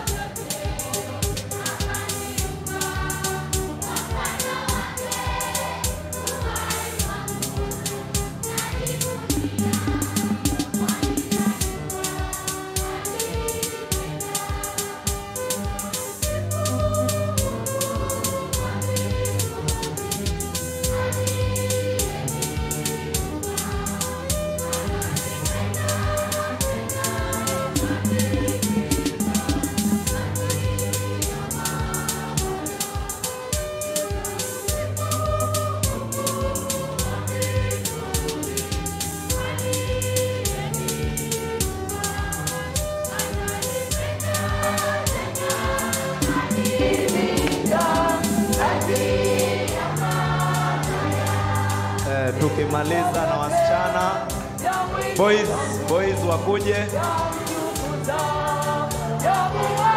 Wasichana mukae kwanza.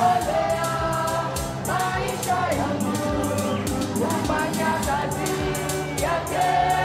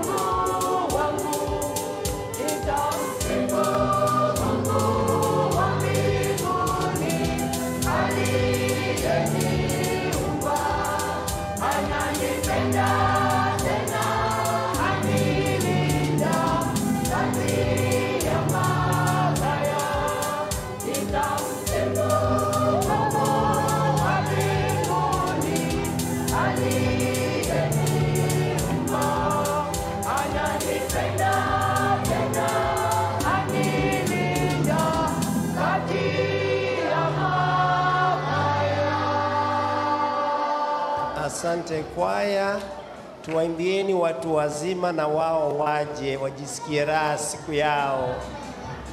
Watu wazima wa kipaimara, wavulana au wa kiume na wa kike.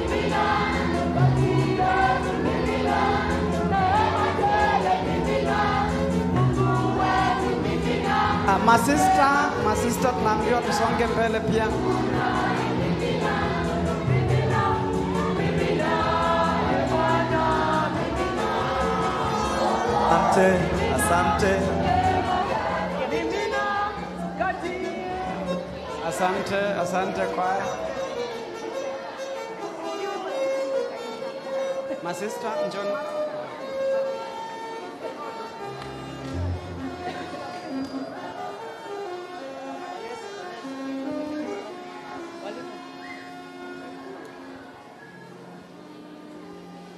So masista pamoja na walezi wa watoto wale ambao wanatembea nao seminari, walezi wa watoto wanaotembea na watoto, wale ambao wamekuwa wakiwafundisha, njoni.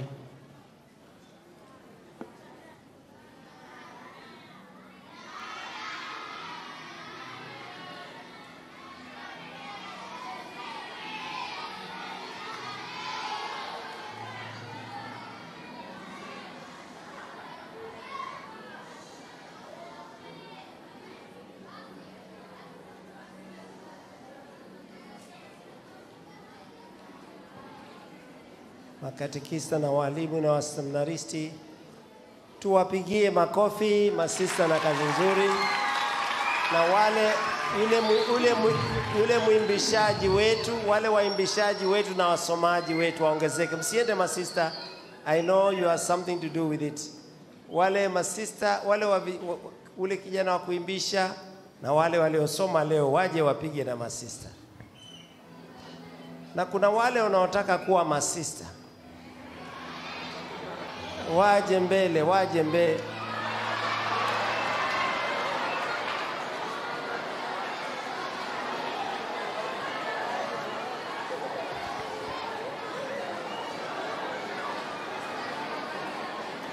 Sasa shirika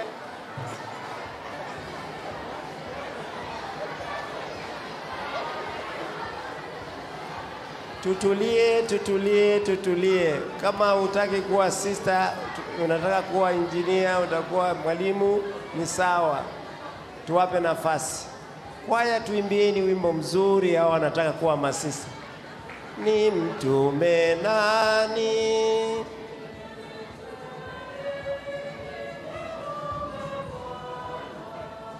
Ni mtume nani?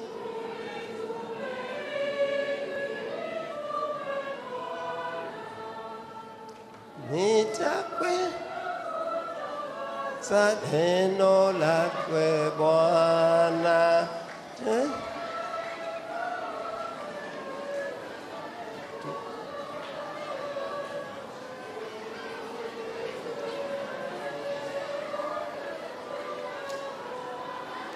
Tusiongee, tusiongee, tuko kanisani bado, na unajua nani anakuchungulia?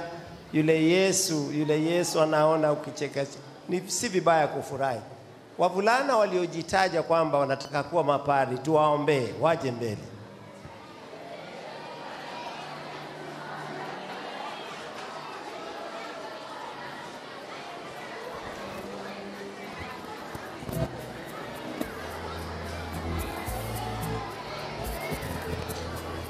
Haina haja ya kukimbia. Tulia, tulia, tulia, tulia, taratibu. Mbona wanasukumana?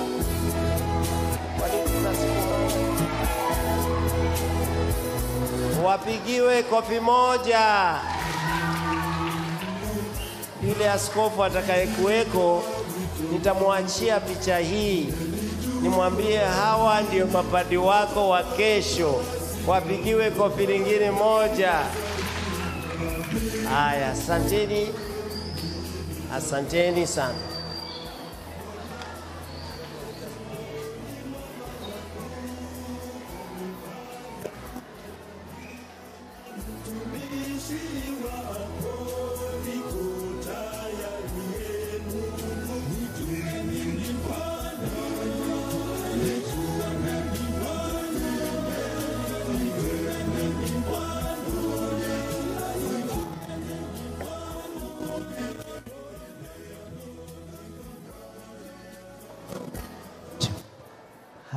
Tunyamaze, tunyamaze, bado tuko kanisani eh? Watoto mnyamaze, sawa eh? Eh, tunyamaze. Yesu yuko hapa anatuangalia.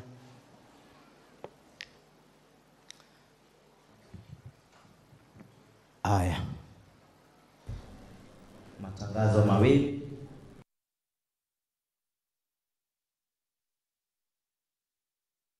kwaya ya Mtakatifu Francis Xavier kwa huduma yao wiki iliyopita. Watakao hudumu katika usafi na masomo wiki hii ni kwaya ya Roho Mtakatifu. Wiki hii mapadri watatembelea jumuiya zifuatazo kwa ajili ya misa. Jumanne tarehe ishirini mwezi huu Mtakatifu Katharina wa Siena. Jumatano tarehe ishirini na moja Mtakatifu Benedikto. Alhamisi tarehe ishirini na mbili Mtakatifu Clara. Mwenyekiti amchukue padri hapa parokiani saa kumi na mbili kamili jioni. Tutaingia kwa taratibu yetu ifuatayo kwa haraka. Uh, chairperson wa youth nitakualika kwa very brief speech. Akimaliza chairperson wa youth atakuja chairperson wa CWA akifuatwa na chairperson wa CMA, alafu mwakilishi wa masista, then chairperson wa parish atakuja naye. Akimaliza atamwalika Padri Gregory. Padri Gregory atamwalika Padri Maingi, naye paroko wetu Patrick Maingi atamalizia kwa kumwalika baba askofu.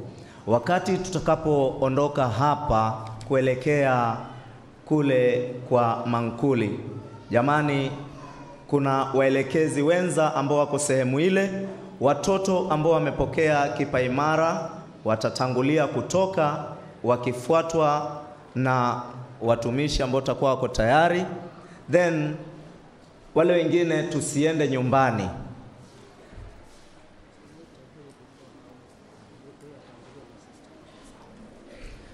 Okay, marekebisho kidogo.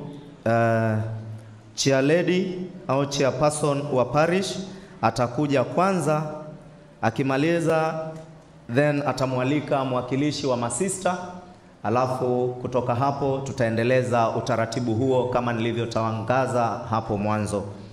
Ni kwamba tusiende nyumbani, tumeandaliwa mankuli au chakula cha pamoja kama parokia. Leo hii ni siku ya furaha, siku ya familia. Basi tushukuru kwa kuwa tumejaliwa kukutana mahali hapa sisi sote. Kwa hiyo sitaki kuchukua muda mwingi, niruhusu nimwalike chairperson representative wa vijana wote, mahali popote pale ulipo, karibia hapa. Tumkaribishe kwa kofi moja Mike. Michael, mahali popote pale ulipo. Chairperson representative wa vijana wote Mike, kama hayuko nitaomba chairperson kutoka upande wa Don Bosco kama yuko, ama kiongozi yoyote wa vijana aje hapa mara moja awakilishe ofisi ya vijana.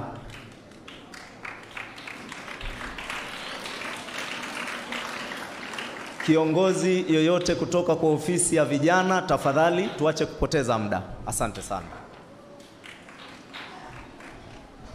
Tumsifu Yesu Kristo.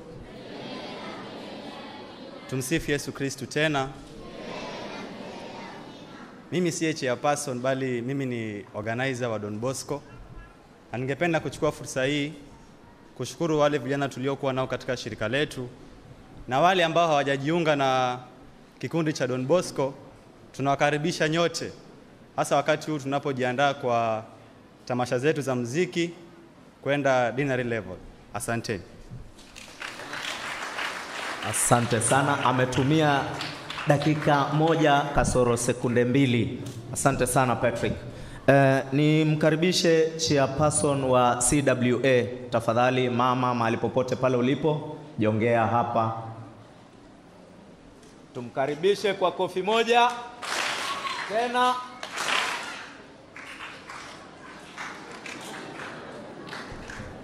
Jamani, tunapoitwa tusikae mbali, tusipoteze muda. Chairperson wa CWA, haya, kama hayuko ntapeana kwa mwakilishi yoyote wa viongozi, viongozi mmoja wa viongozi wa CWA aweze kujongea, awakilishe chairperson wao. Kofi moja kwake. Asante. Tumsifu Yesu Kristo. Kwa niaba ya chairlady wetu wa CWA tunashukuru baba askofu, mapadri wetu wa Patrick Maingi na Gregory, masista uh, na catechist na waumini wote. Tumsifu Yesu Kristo. Kina mama ambao hawajajiunga na shirika letu la Mtakatifu monika mnakaribishwa sana. Tumsifu Yesu Kristo. Asante sana mama kwa kutumia muda wako vizuri. Naomba nimkaribishe mwenyekiti wangu kama yuko area eh, Bwana Martin Obwaka kuwakilisha CMA. Asante sana chairman, karibu kwa kofi moja.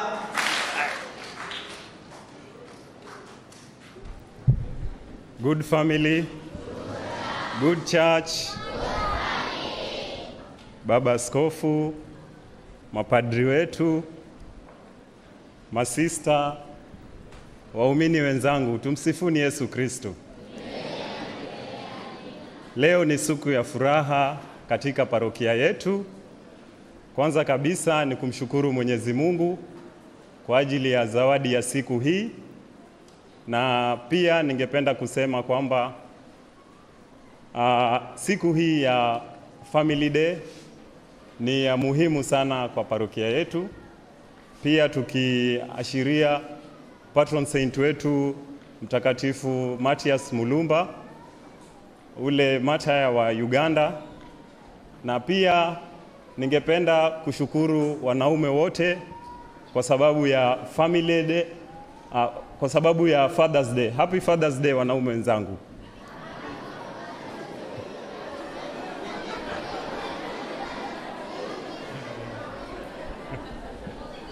Asanteni sana, na naweza kusema kuwa shirika la CMA ni ya wanaume kuanzia miaka kumi na nane na kuendelea.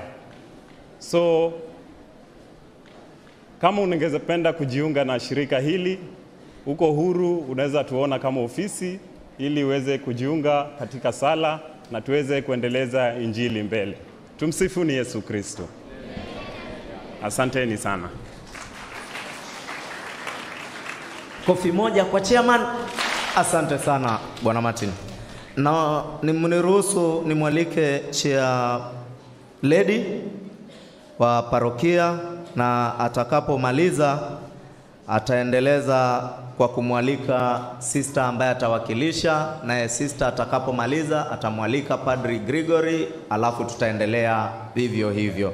Karibu chialedi. Wapi makofi ya chialedi? Moja, mbili, tatu, nne, tano, sita.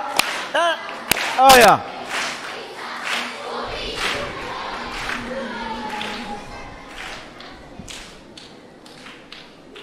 Askofu Mkuu Martin Kivuva, fadha wa parokia yetu, Fadha Patrick Maingi, fadha msaidizi Fadha Gregory Mwakio na fadha aliyetembelea Fadha Vincent kutoka Captain TV, wa seminari, mseminari, masisters, wageni waheshimiwa wetu, watoto waliopata kipaimara, wanakwaya, viongozi wote na Wakristu wote kwa jumla. Tumsifu Yesu Kristu. Tumsifu Yesu Kristu. Mungu ni mwema na kila wakati. Kwanza tunamshukuru Mungu kwa kutupatia muda huu na wakati huu wa kufika mahali hapa. Kama si kwa nguvu zake, sisi wenyewe hatungeweza. Ni nguvu zake na neema zake ametujalia tukaweza kufika hapa. Pili, pia tunashukuru baba yetu askofu mkuu kwa kuja kutupatia watoto wetu kipaimara. Si ni jambo muhimu? Jamani, makofi kwa askofu wetu.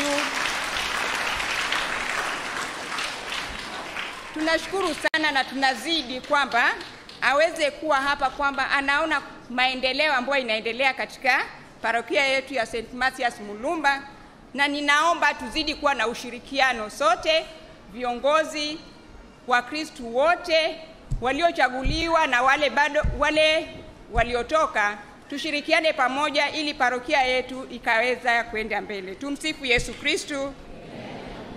Nitawaalika sister in charge naye akapate kuonge, kuongea. Asanteni sana.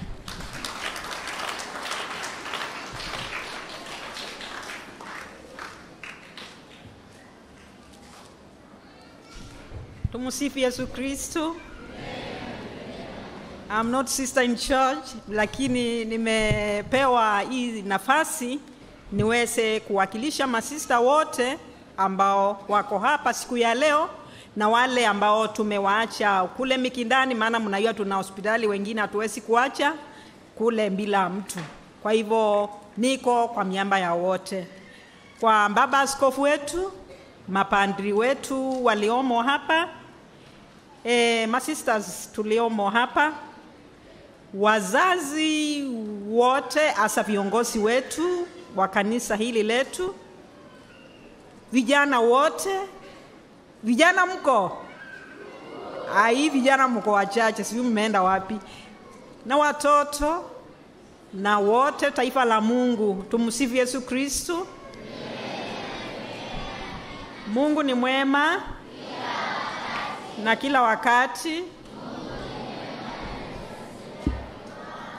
Hii ni siku kubwa sana ambapo tunasherekea hapa kwetu Mikindani. Ninaomba tumpatie kofi maalumu muumba wetu. Na nilipokuwa katika nchi ya umishoni kwa miaka kumi na tano tulifundishwa namna ya kumpatia Mungu heshima kubwa kwa kumpatia kofi ya juu, kofi juu zaidi. Asante.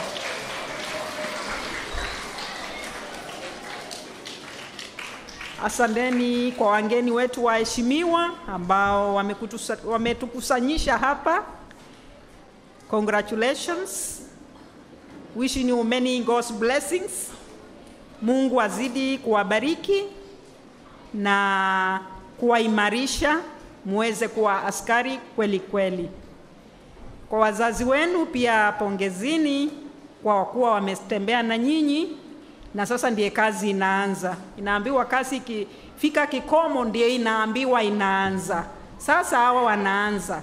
Kwa hivyo wazazi, mna majukumu, bado ni wandogo, muweze kuwasaidia na pia kwa majirani wa hawa watoto mna majukumu, tusaidieni kuwalea. Nyakati ni ngumu, zina changamoto nyingi, na bila kusaidiana hii nchi kulea watoto, maisha yataenda mbele. Tunapokuwa leo, tulikuwa tunaadhimisha siku ya kupokea kipaimara. Ninaamini wameshukiwa na Roho Mtakatifu, na Roho Mtakatifu alipowashukia alileta languages languages mbalimbali, na napenda pia kuwasalimia katika lugha ambayo nimeishi nayo katika huko umisioni, ili na nyinyi mpokee baraka za kutoka huko. Na kitu napenda kuwapatia nilipondifundisha hiyo miaka kumi na tano yangu kule, ndio hii, alafu iweze kuwasaidia na nyinyi vile ilivyonisaidia. Kwanza kabisa ni upendo wale watu wa kule walio nao kwa watoto. Watoto wanapendwa na wanatunzwa sana. Pia sisi wa Afrika tujifundishe kuwapenda watoto, tusiwapige kama tuumbwa. Kuna tabia huku kwetu, mara nyingine mtoto anapigwa sana, si ndio? Eh, nasikia watoto wamesema. Asanteni wazazi kwa kuwa mtafanya hivyo. Kingine nilichoona ni upendo kwa wazee na watu walemavu, wanapendwa sana kule, wanasaidiwa sana na watu wanajitolea sana kwa ajili yao watu. Naomba na sisi tunjitolee. Ya mwisho kabisa, maana napewa honyo honyo ya matime, it is this one, ni kuwa watu wanajitolea katika kusaidia maskini. Maskini kule anasaidiwa, anakula na kulala mpaka apate labda kazi na kama anjiwezei anasaidiwa. Tusaidianeni na sisi, tuangalie majirani zetu. Kuna wengi ambao wanalala njaa na wewe umenjaza na unatupia umbwa nje ama unatupa kwa tangi. Tafadhalini tujisofundisheni kutoka kwa wamisionari wetu, walituletea neno huku na walitufundisha. Mi nimeenda nimeishi na wao, nimeweza kujionea macho kwa macho. So a short chorus ya lugha yao ndiye hii, nisamee sana. Thank you, thank you Jesus. Yaani tunamshukuru Yesu kwa siku ya leo, na inaimbangwa hivi. Hivi grasie jesu. Gesù, grasie jesu. Grasie grazie, jesu Gesù grasie mio jesu grazie, grazie Gesù, grazie, grazie Gesù nel mio cuore.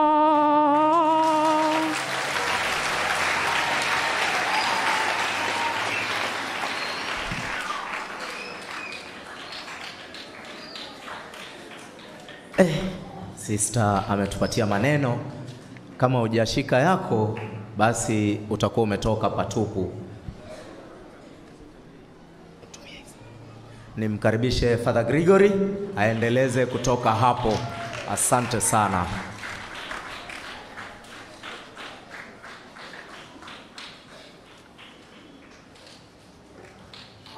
Baba Askofu wetu mkuu Martin Kivuva Msonde, eh, Padri Patrick Maingi, paroko wa parish hii, eh, Padri Vincent Shumila, director wa Capuchin TV, masista eh, sote ambao tuko hapa, tumsifu Yesu Kristu.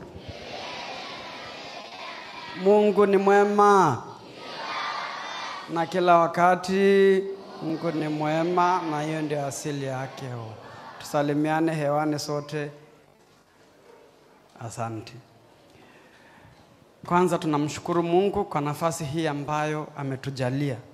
Pili, tunakushukuru Baba Askofu Mkuu kwa uwepo wako. Kama nilivyozoea kusema, Baba akija, umeona furaha vile watoto walivyofanya, wameweza kukuzingira, wamekuja na kufurahia. Nakumbuka jana nikiambia wanakwaya, wanakwaya mnaimba vizuri sana, lakini watoto wakifurahi wataimba hata kualiko. Wapigeni kofi moja na tumeshuhudia saa ingine walikuwa wanajitahidi sana, walimu wanaweka kinanda. Najua tumekuwa na furaha kubwa, mtoto ajui kuficha furaha kama vile mtu mzima.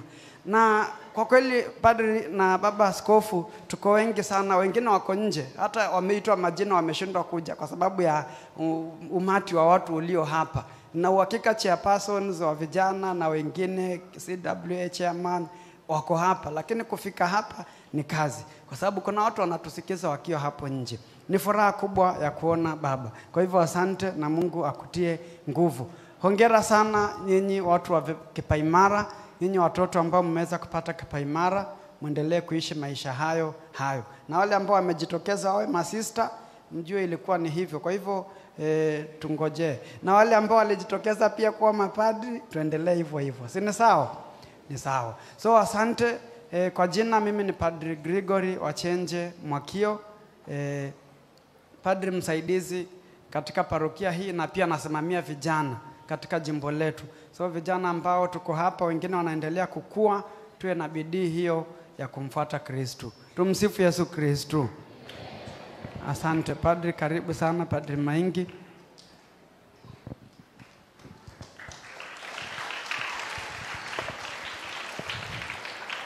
So, kwa baba askofu wetu mkuu pamoja na mapadri wenzangu, masista, watoto, wanafunzi wa Kipaimara, wazazi, kwaya, marafiki ambao wamejiunga nasi, tumsifu Yesu Kristo. God is good and all the time. So kabla sijasema mawili matatu, ninaomba baba askofu niruhusu nimkaribishe Padri Vincent atusalimie tu, kwa sababu tuko hapa na TV ya Kapchin inatuonyesha live. Tumkaribisheni Padri na makofi.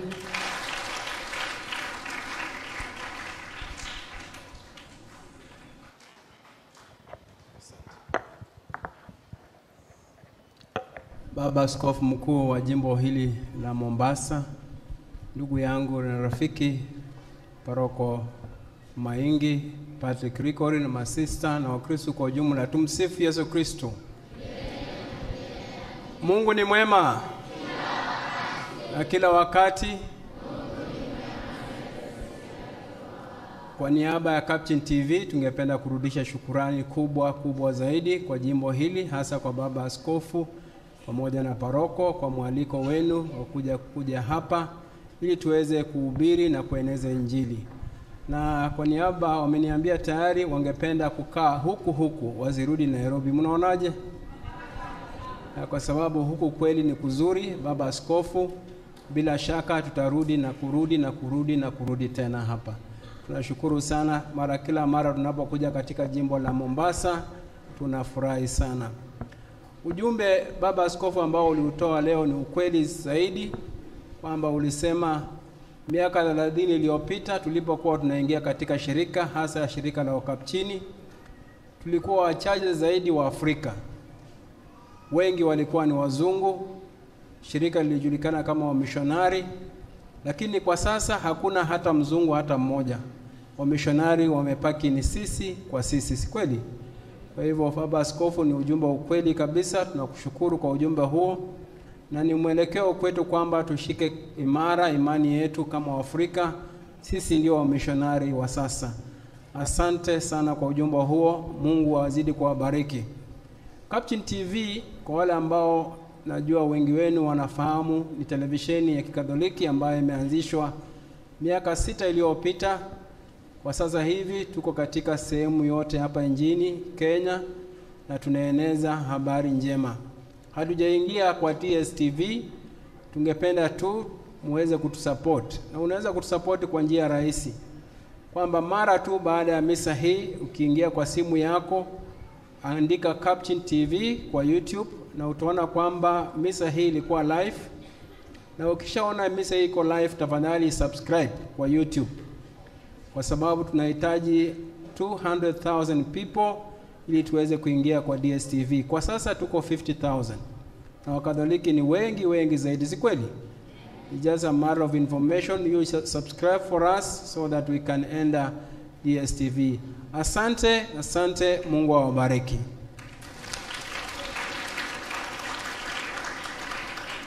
Ningependa tu kucorrect kwamba Father Gregory ameniita director. Mimi sio director, mimi ni financial administrator. Sawa, kuna director ambaye ni mkubwa zaidi, mimi ni mtu ambaye anahusika na pesa. Kwa hivyo tafadhali mwendelee kutusaidia hata kifedha. Unapoangalia Captain TV kuna bill yetu ambayo ni 510 678 ili kuendeleza huduma huu. It's a very expensive endeavor. We pay about 4 million every month na hizi pesa zinatoka kwa Wakristo ambao wanatutumia pesa kidogo kidogo, na tunaweza kulipa expenditure hiyo. Asante. Tungependa kushukuru watu wa Mikindani ambao ni Wakristo wazuri ambao kila mara wanatusapoti. Misa hii itarudiwa saa mbili na nusu usiku wa leo ili muweze kujitazama jinsi mlivyofanya vizuri. Asante, Mungu awabariki.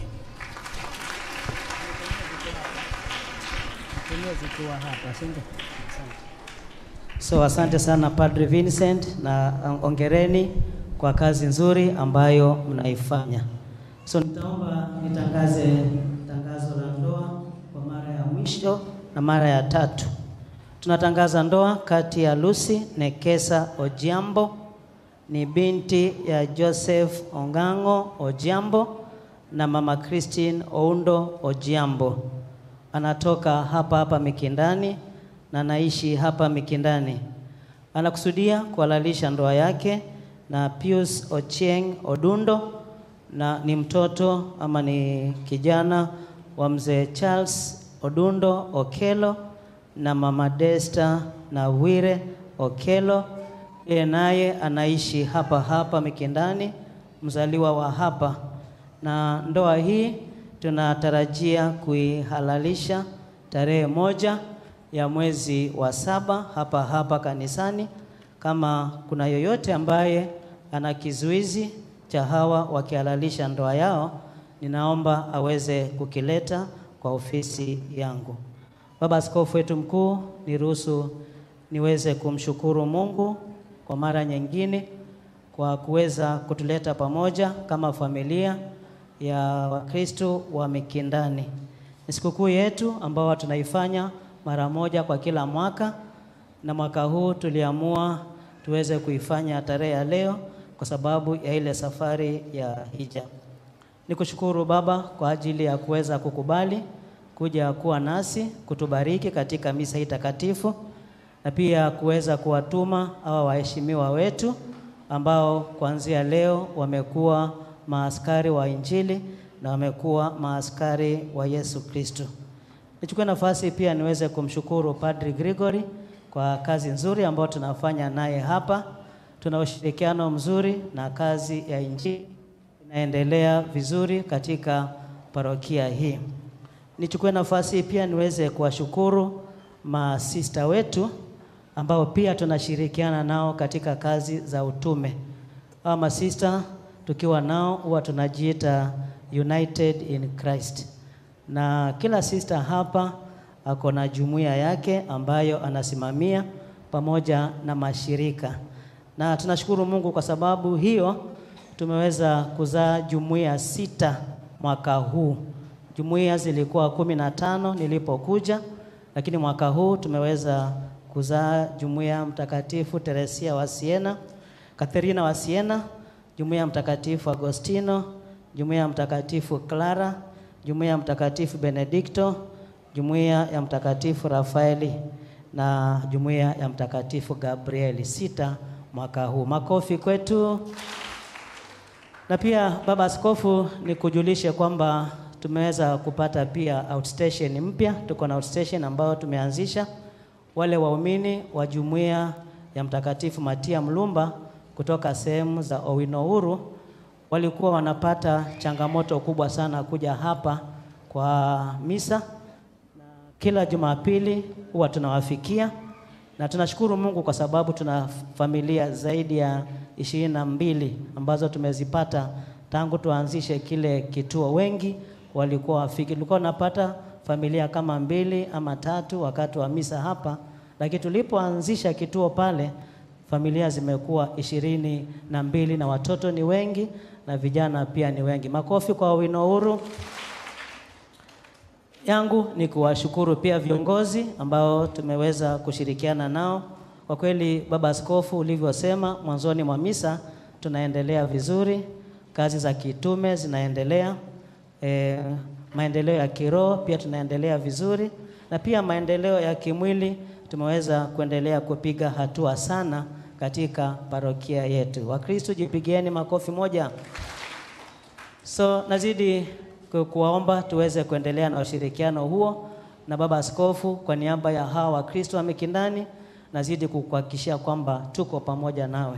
Tutaendelea kukushika mkono katika miradi mizuri ulio nayo ya jimbo letu, na nakuhakikishia kwamba hawa Wakristo wa Mikindani daima wako tayari kutembea nawe, na ndio maana pia inapofika wakati ambapo unahitaji kuweza kuwashughulikia waseminari wetu Wakristo wa Mikindani huwa wanajituma vizuri kupitia kwa ofisi ya mito. Ofisi ya mito, wale ambao wanakamati wa mito, tusimame mahali mlipo. Wanakamati wa mito, asanteni, makofi kwao. So Baba Askofu, tuko pamoja nawe, be assured of our support. Na chukua nafasi sasa kwa namna ya kipekee niweze kuwaomba tuweze kumkaribisha baba yetu, na tutamkaribisha na makofi special. Oh, kabla ya kumkaribisha baba askofu, nitamwomba mseminari atusalimie. Yeye ndiye amekuwa na hawa watoto, katekisti wetu ni sister, na wamekuwa kwa semina ya matayarisho ya final vows. Sasa yeye ndiye amekuwa akitembea na hawa watoto. Karibu. Masham Baba Askofu Mkuu Martin Kivuva Msonde, Baba Paroko, mapadri na Wakristu kwa ujumla, tumsifu Yesu Kristu. Jina ni Mwasaga Thomas Kitili, kazi ya kitume parokia ya Mikindani. Nashukuru sana na ni furaha yangu Baba Askofu kuona ndugu zetu wamepokea sakramenti ya kipaimara. Asanteni sana na Mungu atubariki sote. So asante mseminari. So nataka tuweze kumkaribisha baba askofu na makofi kumi na matano. Tutapiga tano, nne, tatu, mbili, moja. Sawa eh? Tutasema 1 2 3 4 5 1 2 3 4 1 2 3 1 2 1. Tufanye mazoezi. 1 2 3 4 5 1 2 3 4 1 2 3 1 2 1. Hiyo ilikuwa ni mazoezi. Sasa nataka tupige kwa nguvu, tumkaribishe baba yetu askofu. Tuanze 1 2 3 4 5 1 2 3 4 1 2 3 1 2 1. Karibu baba.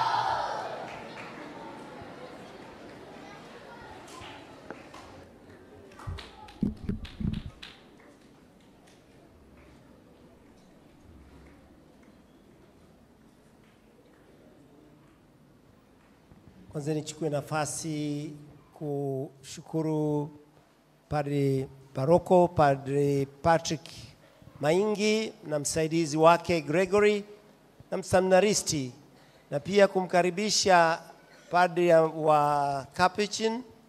Capuchin, Capuchin ni kikapu huwa kiko hapa nyuma. Ukiangalia zile nguo zao wanavaa, huwa kuna kitu kama kikapu, wanaitwa mapadi wa vikapu. Why is it so? Walikuwa mara nyingi wanaomba chakula kusaidia watu, kwa hivyo wanaingiza hapo, wanaingiza hapo. So Father Vincent, karibu sana. Nishukuru tena viongozi wote ambao wameteuliwa mwaka huu, tafadhali simameni. Viongozi wote walioteuliwa kama viongozi, nyadhifa zote zilizoko. Kuna wenye viti wa makundi, kuna wenye viti wa jumuiya, kuna wenye viti na wengine naona kwenye kwenye kwenye huko nyuma, kuna wenye viti wa makundi mbalimbali ambao ni mengi, wanaona polepole, wanasimama, wengine wa ni- ni wa jumuiya, wengine wa nyumbani, wengine wa kwaya. Tuwape makofi viongozi hawa, tuwaambie karibuni kazi. Moja, mbili, tatu.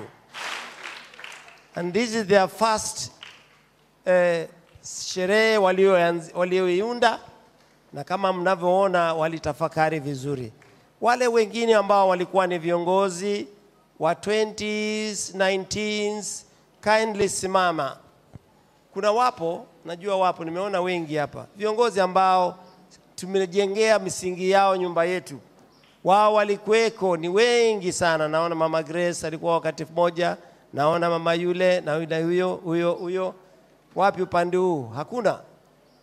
So hawa ndiyo msingi yetu tuliojenga kanisa letu la St. Matayo. Makofi. La pili, la tatu. Alafu wale wote walioenda ile safari ya hija, tuliambiwa wengine walienda Rwanda, wengine walienda na Mgongo. Ninyi mlikuwa na ishirini na wawili. Katika hao ishirini na wawili, hebu simameni tuone nani aliyefika. E, naona moja. Tafadhali njoo hapa, mliosafiri mkaenda kutuletea baraka. Na ni moja amekuja kanisa katika wote hao? Wako hao, wapigiwe makofi, makofi, makofi, makofi, makofi, makofi, kwa sababu umesema walienda kutuwakilisha. Unaona, wao na wako sawa, ukiwaangalia sawa, ni sawa. Niombe kina mama wateue mama moja na kina baba wateue mtu baba mmoja wa kutoa ushuhuda. Tuanze na kina mama. Mmeteua mama gani? Haya, tukupa muda mfupi. Tumsifu Yesu Kristo. Tusalimiane kwa hewa. Askofu wetu mkuu Bwana Martin Mwashamu, Askofu Kivuva Musonde.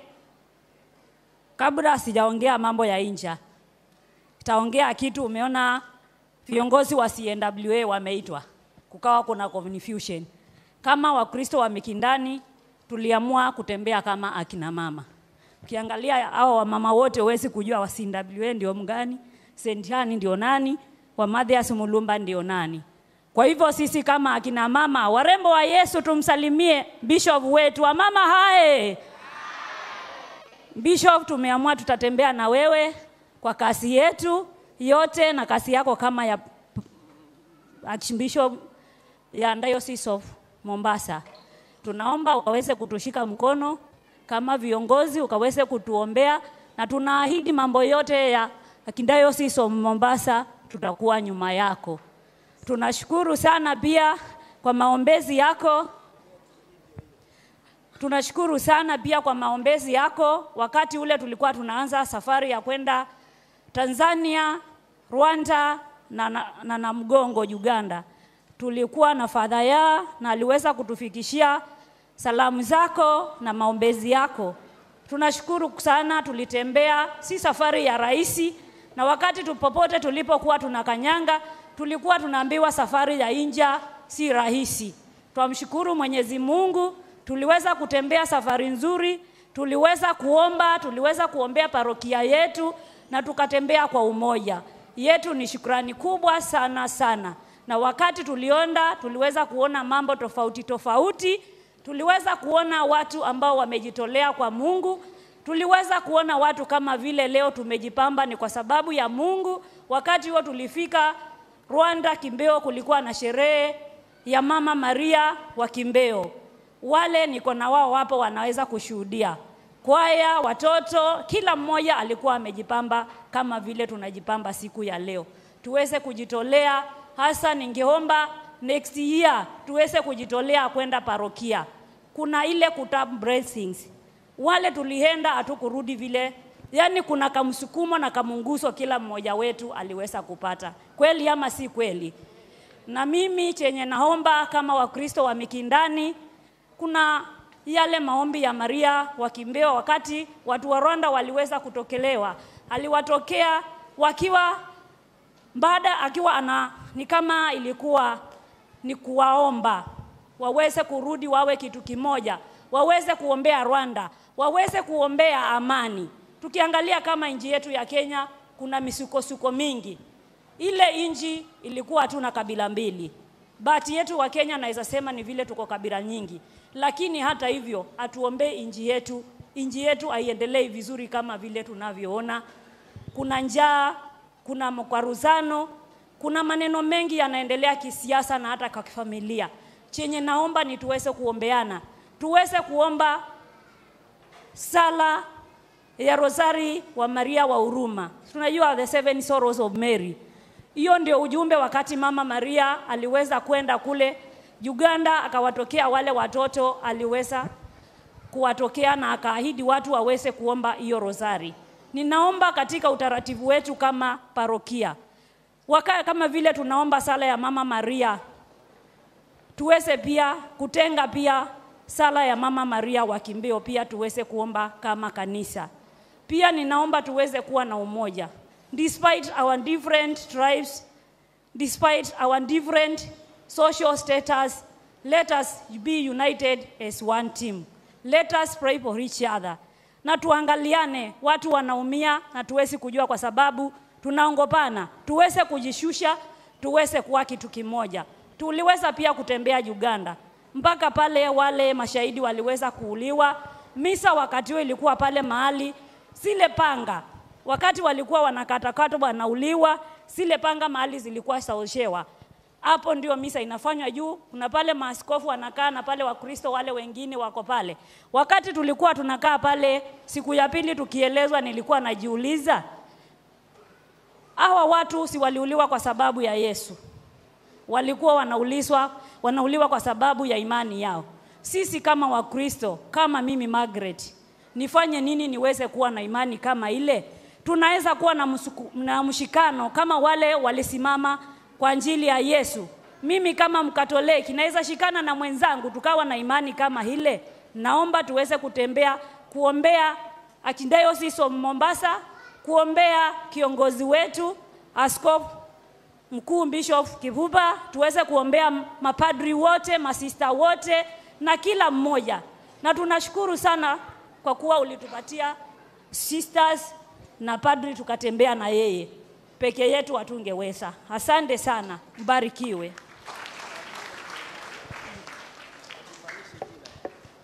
Tumsifu Yesu Kristu. Kwa majina naitwa Scholastica Ochieng. Ah, Alivyoelezea ilikuwa ni hivyo. Of course kulikuwa na changamoto nyingi njiani, lakini Mwenyezi Mungu alituwezesha, na tunajua kwamba nothing good comes easily. Kwa hivyo katika changamoto zetu zidi kusimama imara katika imani, ili Kristo mwe- aweze kuonekana na azidi, azidi kututetea katika kila hali. Tumsifu Yesu Kristo. Mungu ni mwema kila wakati. Sina mengi ya kuwaelezea, Ningeomba next year tujipange tuende sote. Kwa kweli kuna baraka mingi kwa Mama Bikira Maria wa Kibeo, na tuzidi kuombea nchi yetu ya Kenya. Tumsifu Yesu Kristo. Kwa jina naitwa Monica Mkanyika Moka. Asanteni, mnaweza kuketi kina mama. Asante. Msisahau walitembea siku kumi, 10 days on the way, si kwa miguu lakini kwa magari wakienda sehemu mbalimbali. Wapigiwe mama- kofi kina mama hao. Asante sana.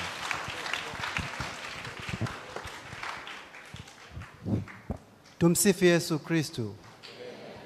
Kwa majina naitwa Joseph Mwandhi.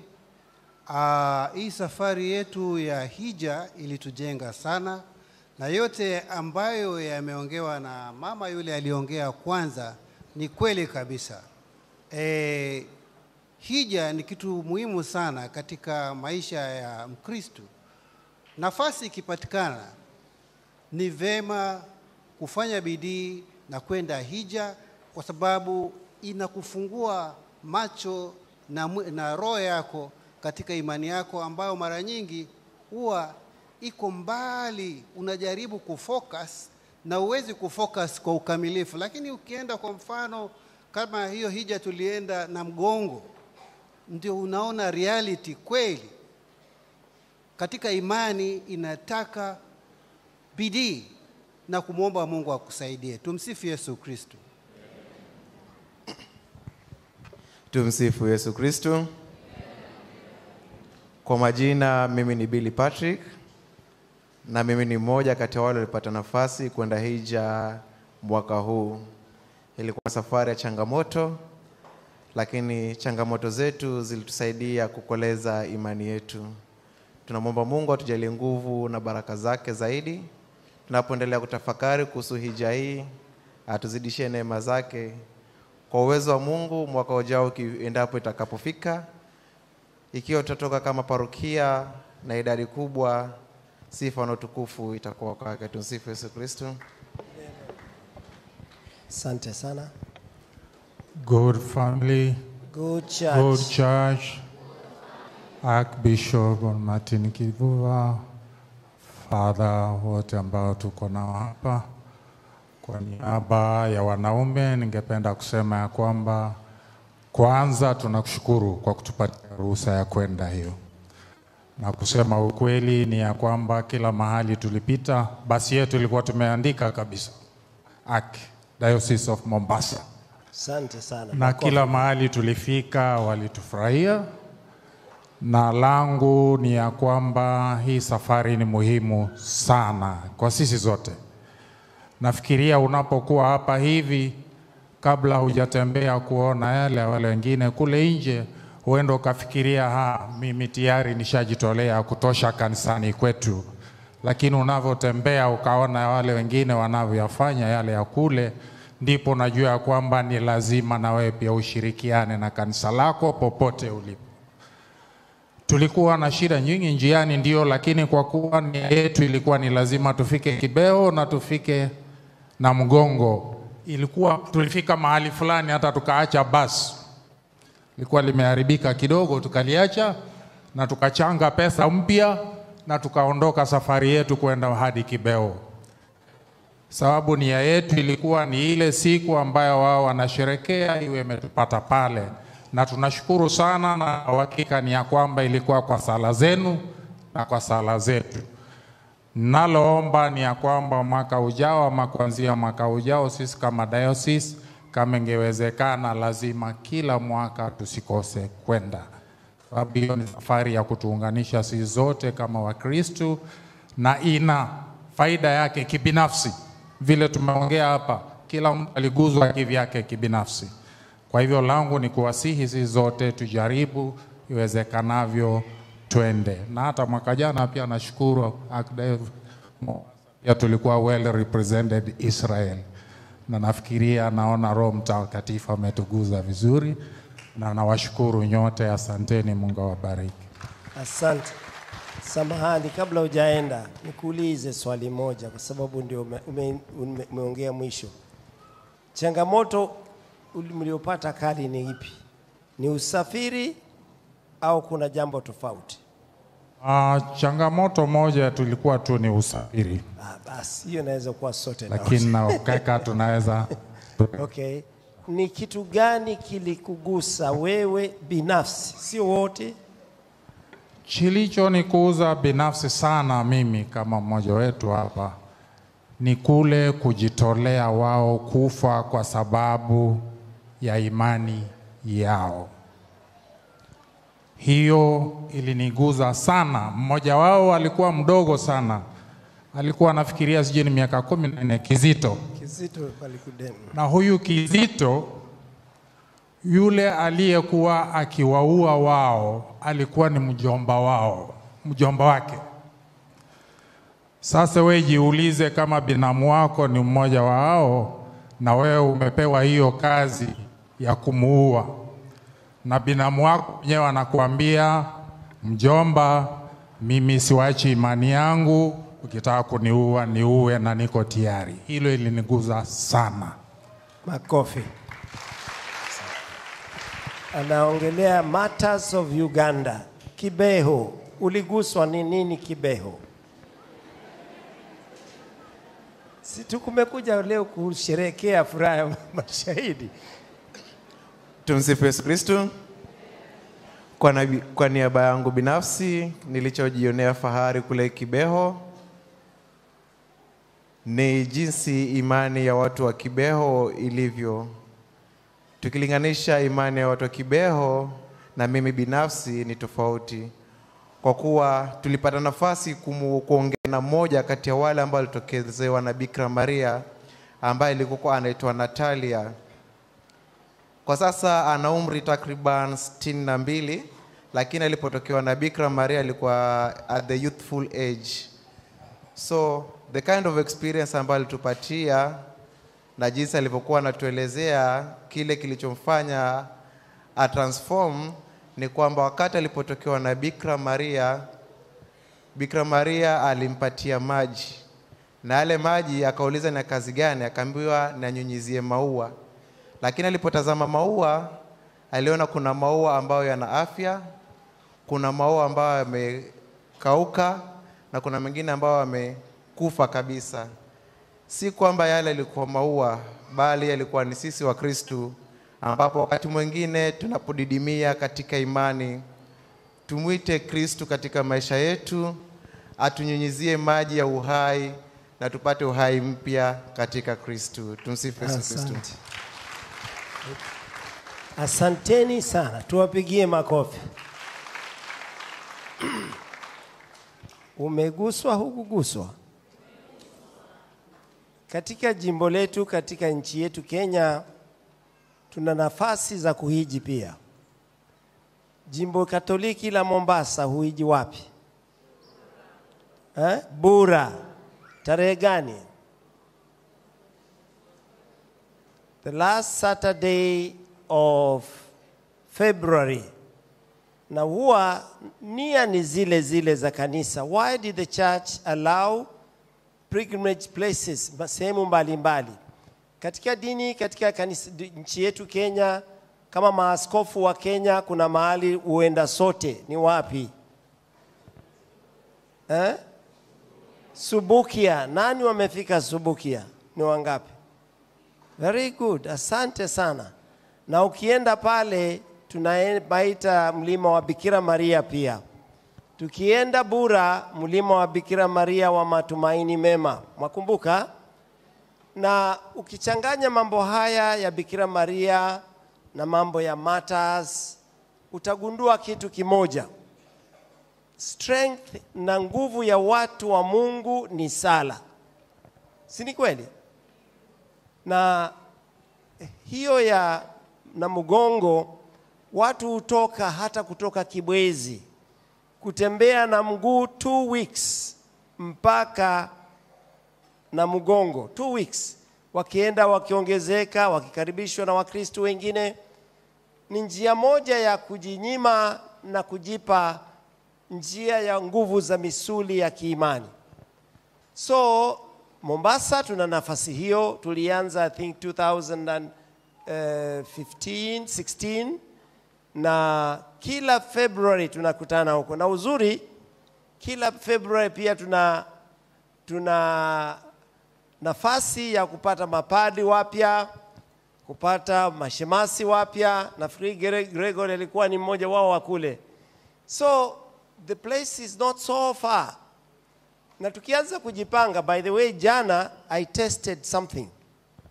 Jana ajuzi juzi samani niliamua kwenda na train na train kutoka hapa mpaka Voi, ile yetu ya kawaida tunayotembea nao mimi 200 shillings, si ni kweli?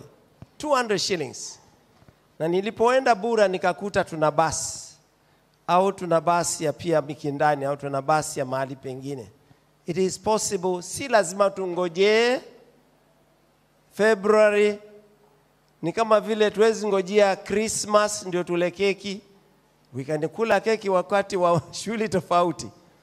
So what I'm hearing happening here, mshaanza kuonja utamu wa kuwa Wakristu na mshaanza kuona umuhimu wa kila mtu kufanya cha kwake kwa nia nzuri na ambayo si ya kuumiza wengine.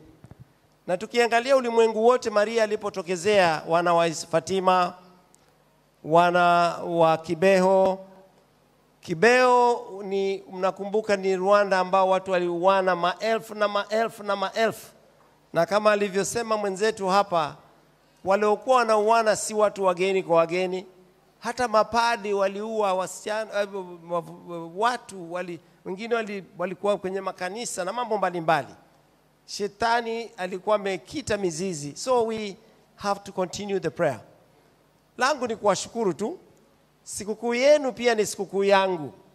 Tarehe tatu mwezi wa June 2000 2003 nilifanywa askofu wa Machakos. Sasa kama askofu wa Machakos niliamua kufanywa askofu tarehe hiyo kuunganisha kazi ya kitume ambayo ninayofanya na tunayofanya pamoja na Wamachakos wakati ule na changamoto tunazokumbana napo tunapoanza kuwa Wakristo. In fact, you may be doing very well, lakini ukianza kuwa Mkristo, haya hili latokea, hili latokea. So that is when I was ordained a priest, a, bishop Machakos. Hivi leo tarehe hiyo tatu yenu ndio tarehe yangu, huwa ninafika miaka ish- ishirini kama askofu kwa sababu nilifanya kumi na tisa kumi na moja hapo na hapa nimefanya tisa miaka ishirini. So nawashukuru sana. Tangu tuanzane safari hii kuna wengi tumenisaidiana sana. Niinue mmoja pale kimodho tafadhali just stand up and wave.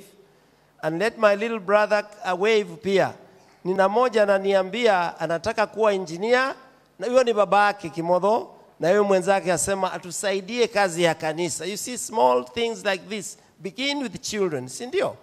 So asante sana na asanteni sana kwa ujumla sote. Naamini nia ya kama tunavyofanya hapa si mchezo. These things start early. Katika maisha ya mtoto anapoona anaposhiriki na wengine na anapoona kweli Mungu anamsaidia. Na ajabu ni kwamba mara nyingi stori za Mama Maria zimetokea watoto. You remember that? Wa Fatima alikuwa nani? Watatu. Wa Kibeho pia wapo, na ukisikiza Mexico, kwingineko na dunia nzima. So I want to praise you kwa kushika njia ambayo itatuunganisha zaidi. Kuna msemo unaosemwa the family that prays together stays together, hivyo kwamba kwa kuomba pamoja, japo mizigo ipo na kila moja nayo, unapoongea mwenzako alilala vibaya kwa sababu ya kitu fulani au shida fulani, your work becomes easier. And by the way, it has been discovered na wataalam katika watu wanaoishi maisha maisha marefu ni wale ambao huomba amazingly. Si kusema wengine hawaombi, hapana. Hata wazee wetu walikuwa wanaomba zamani, wanaenda milimani, kina mama na kwao na so on. So let's try and continue this tradition. So kwanza tu, tuanzie na pia na za kwetu na za nje. Walioenda Israel, and I know Father alikuwa ni mmoja wao, tumpigie makofi. Alienda kuhiji kwa sababu aliona amemaliza zote za Kenya, akasema nao next one. There's no harm, nafasi ziko na tunaweza kupangana, watu wakaenda Israel, watu wakaenda Roma. Lengo lake ni kutukoleza imani na tugundue haya mambo tunayoyafanya hapa si ya mchezo, yana maana fulani na una umuhimu fulani katika maisha. Bo, so hivyo basi wakilioenda Israeli, licha fadha, tafadhali, kuna yeyote mlienda nao hapa, wasimame wa wave. Sasa siku nyingine tutawaomba wa walioenda Israel last year, father, basi simama, ni wewe peke yako ha? Kuna mwingine wa Israel huyo huyo huyo huyo alienda Israel, haya mpigieni makofi. No, it's good because tukifanya hivyo inatutia moyo sana na inatia watu moyo. So langu leo ni kuwatakia mazuri. Tunajua tumechoka samani, tumesikia kuna chakula, msiogope. Eh, eh. So langu ni kuwashukuru sana viongozi, papadi na nyote kwa, kwa ujumla kwamba kama jimbo tumeweza kujitoa na kujikwamua mambo mengi, na si kwa sababu sisi ni matajiri, hapana.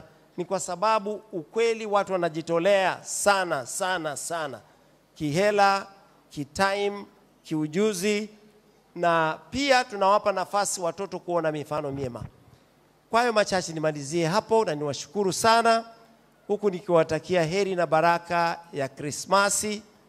Watoto mtapata peremende za kardinali, jipigieni makofi. So mahali mtaketi mkila zitaletwa hapo hapo, msitafute hapa. Tumefanya eh, eh, peremende ya kwanza ilikuwa ni kupokea Ekaristi Takatifu na kuwa kusikia utamu wa Yesu na kushiriki naye maisha mapya ya Ekaristi Takatifu, kipindi cha kupokea sakramenti ya kipaimara. So kwa hayo machache niwezi kusema asante, niwashukuru nyote kwa mipango mbalimbali, masista kwa ushirikiano mwema na mapadri, because that is way we want our church, our family to grow, kwamba tunaweza kushirikiana, tujikwamue, na unajua tunajikwamua kweli, manake eh, this is your Europe, this is my Europe. Wamishonari tuliambiwa kama nilivyosema mwanzo, Africans, be missionaries to yourselves. God bless you. Mungu awabariki sana. And those who been, been watching us, perhaps sijui kama tulikuwa online or not, nashukuru sana, kazi nzuri, na tuendelee kushirikiana kama hata Afrika kwa ujumla. Tuna changamoto nyingi kama tunavyosema, but we can make the light, the burden light kwa kushikana mikono. Asanteni na tumshukuru Mungu. Tunaweza kusimama kwa wimbo wa mwisho mzuri, twasema twasema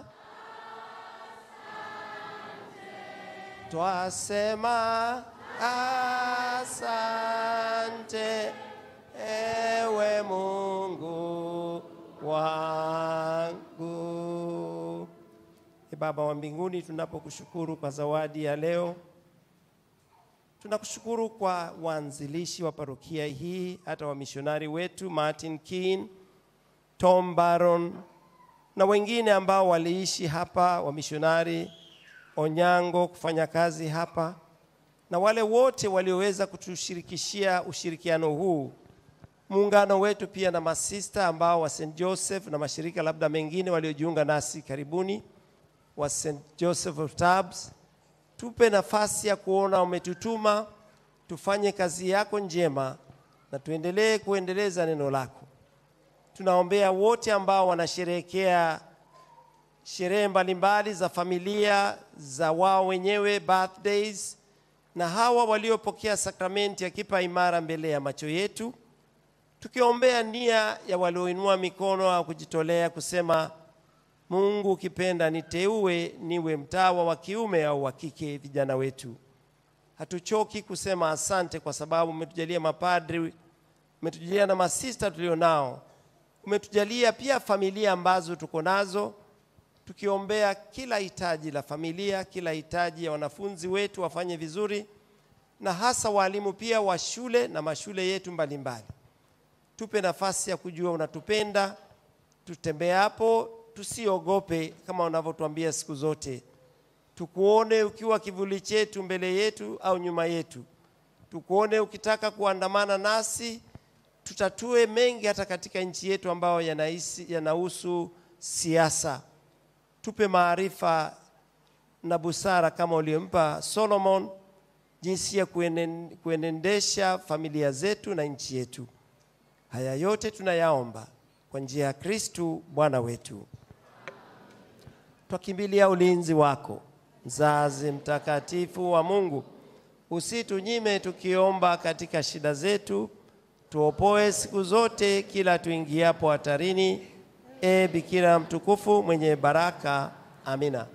Na Bwana awe nanyi, awabariki Mungu Baba Mwenyezi, Baba na Mwana na Roho Mtakatifu, na ashukie na kukaa nanyi daima na milele. Sasa nendeni na amani.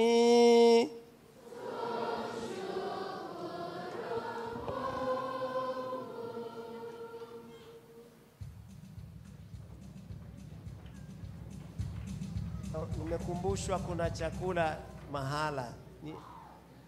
Kwa jina la Baba, Mwana na Roho Mtakatifu, amen. Mungu Mwenyezi, tunapofumukana na kwenda njia mbalimbali, mbali, kuna chakula kilio hapa na pia hata chakula nyumbani. Tunaomba bariki chakula hicho na ubariki wale ambao hawana chakula hasa waweze kufaidi kufata chakula kwa njia unazojua wewe. Bariki chakula hiki kwa njia ya Kristu Bwana wetu. Jina la Baba na la Mwana na la Roho Mtakatifu, amen.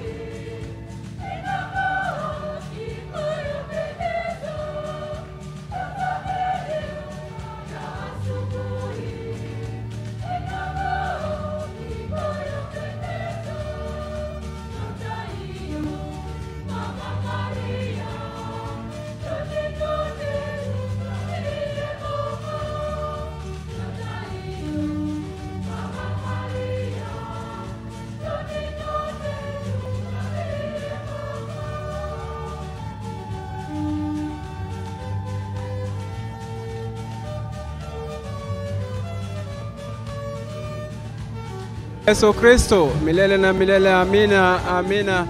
Ndugu mtazamaji,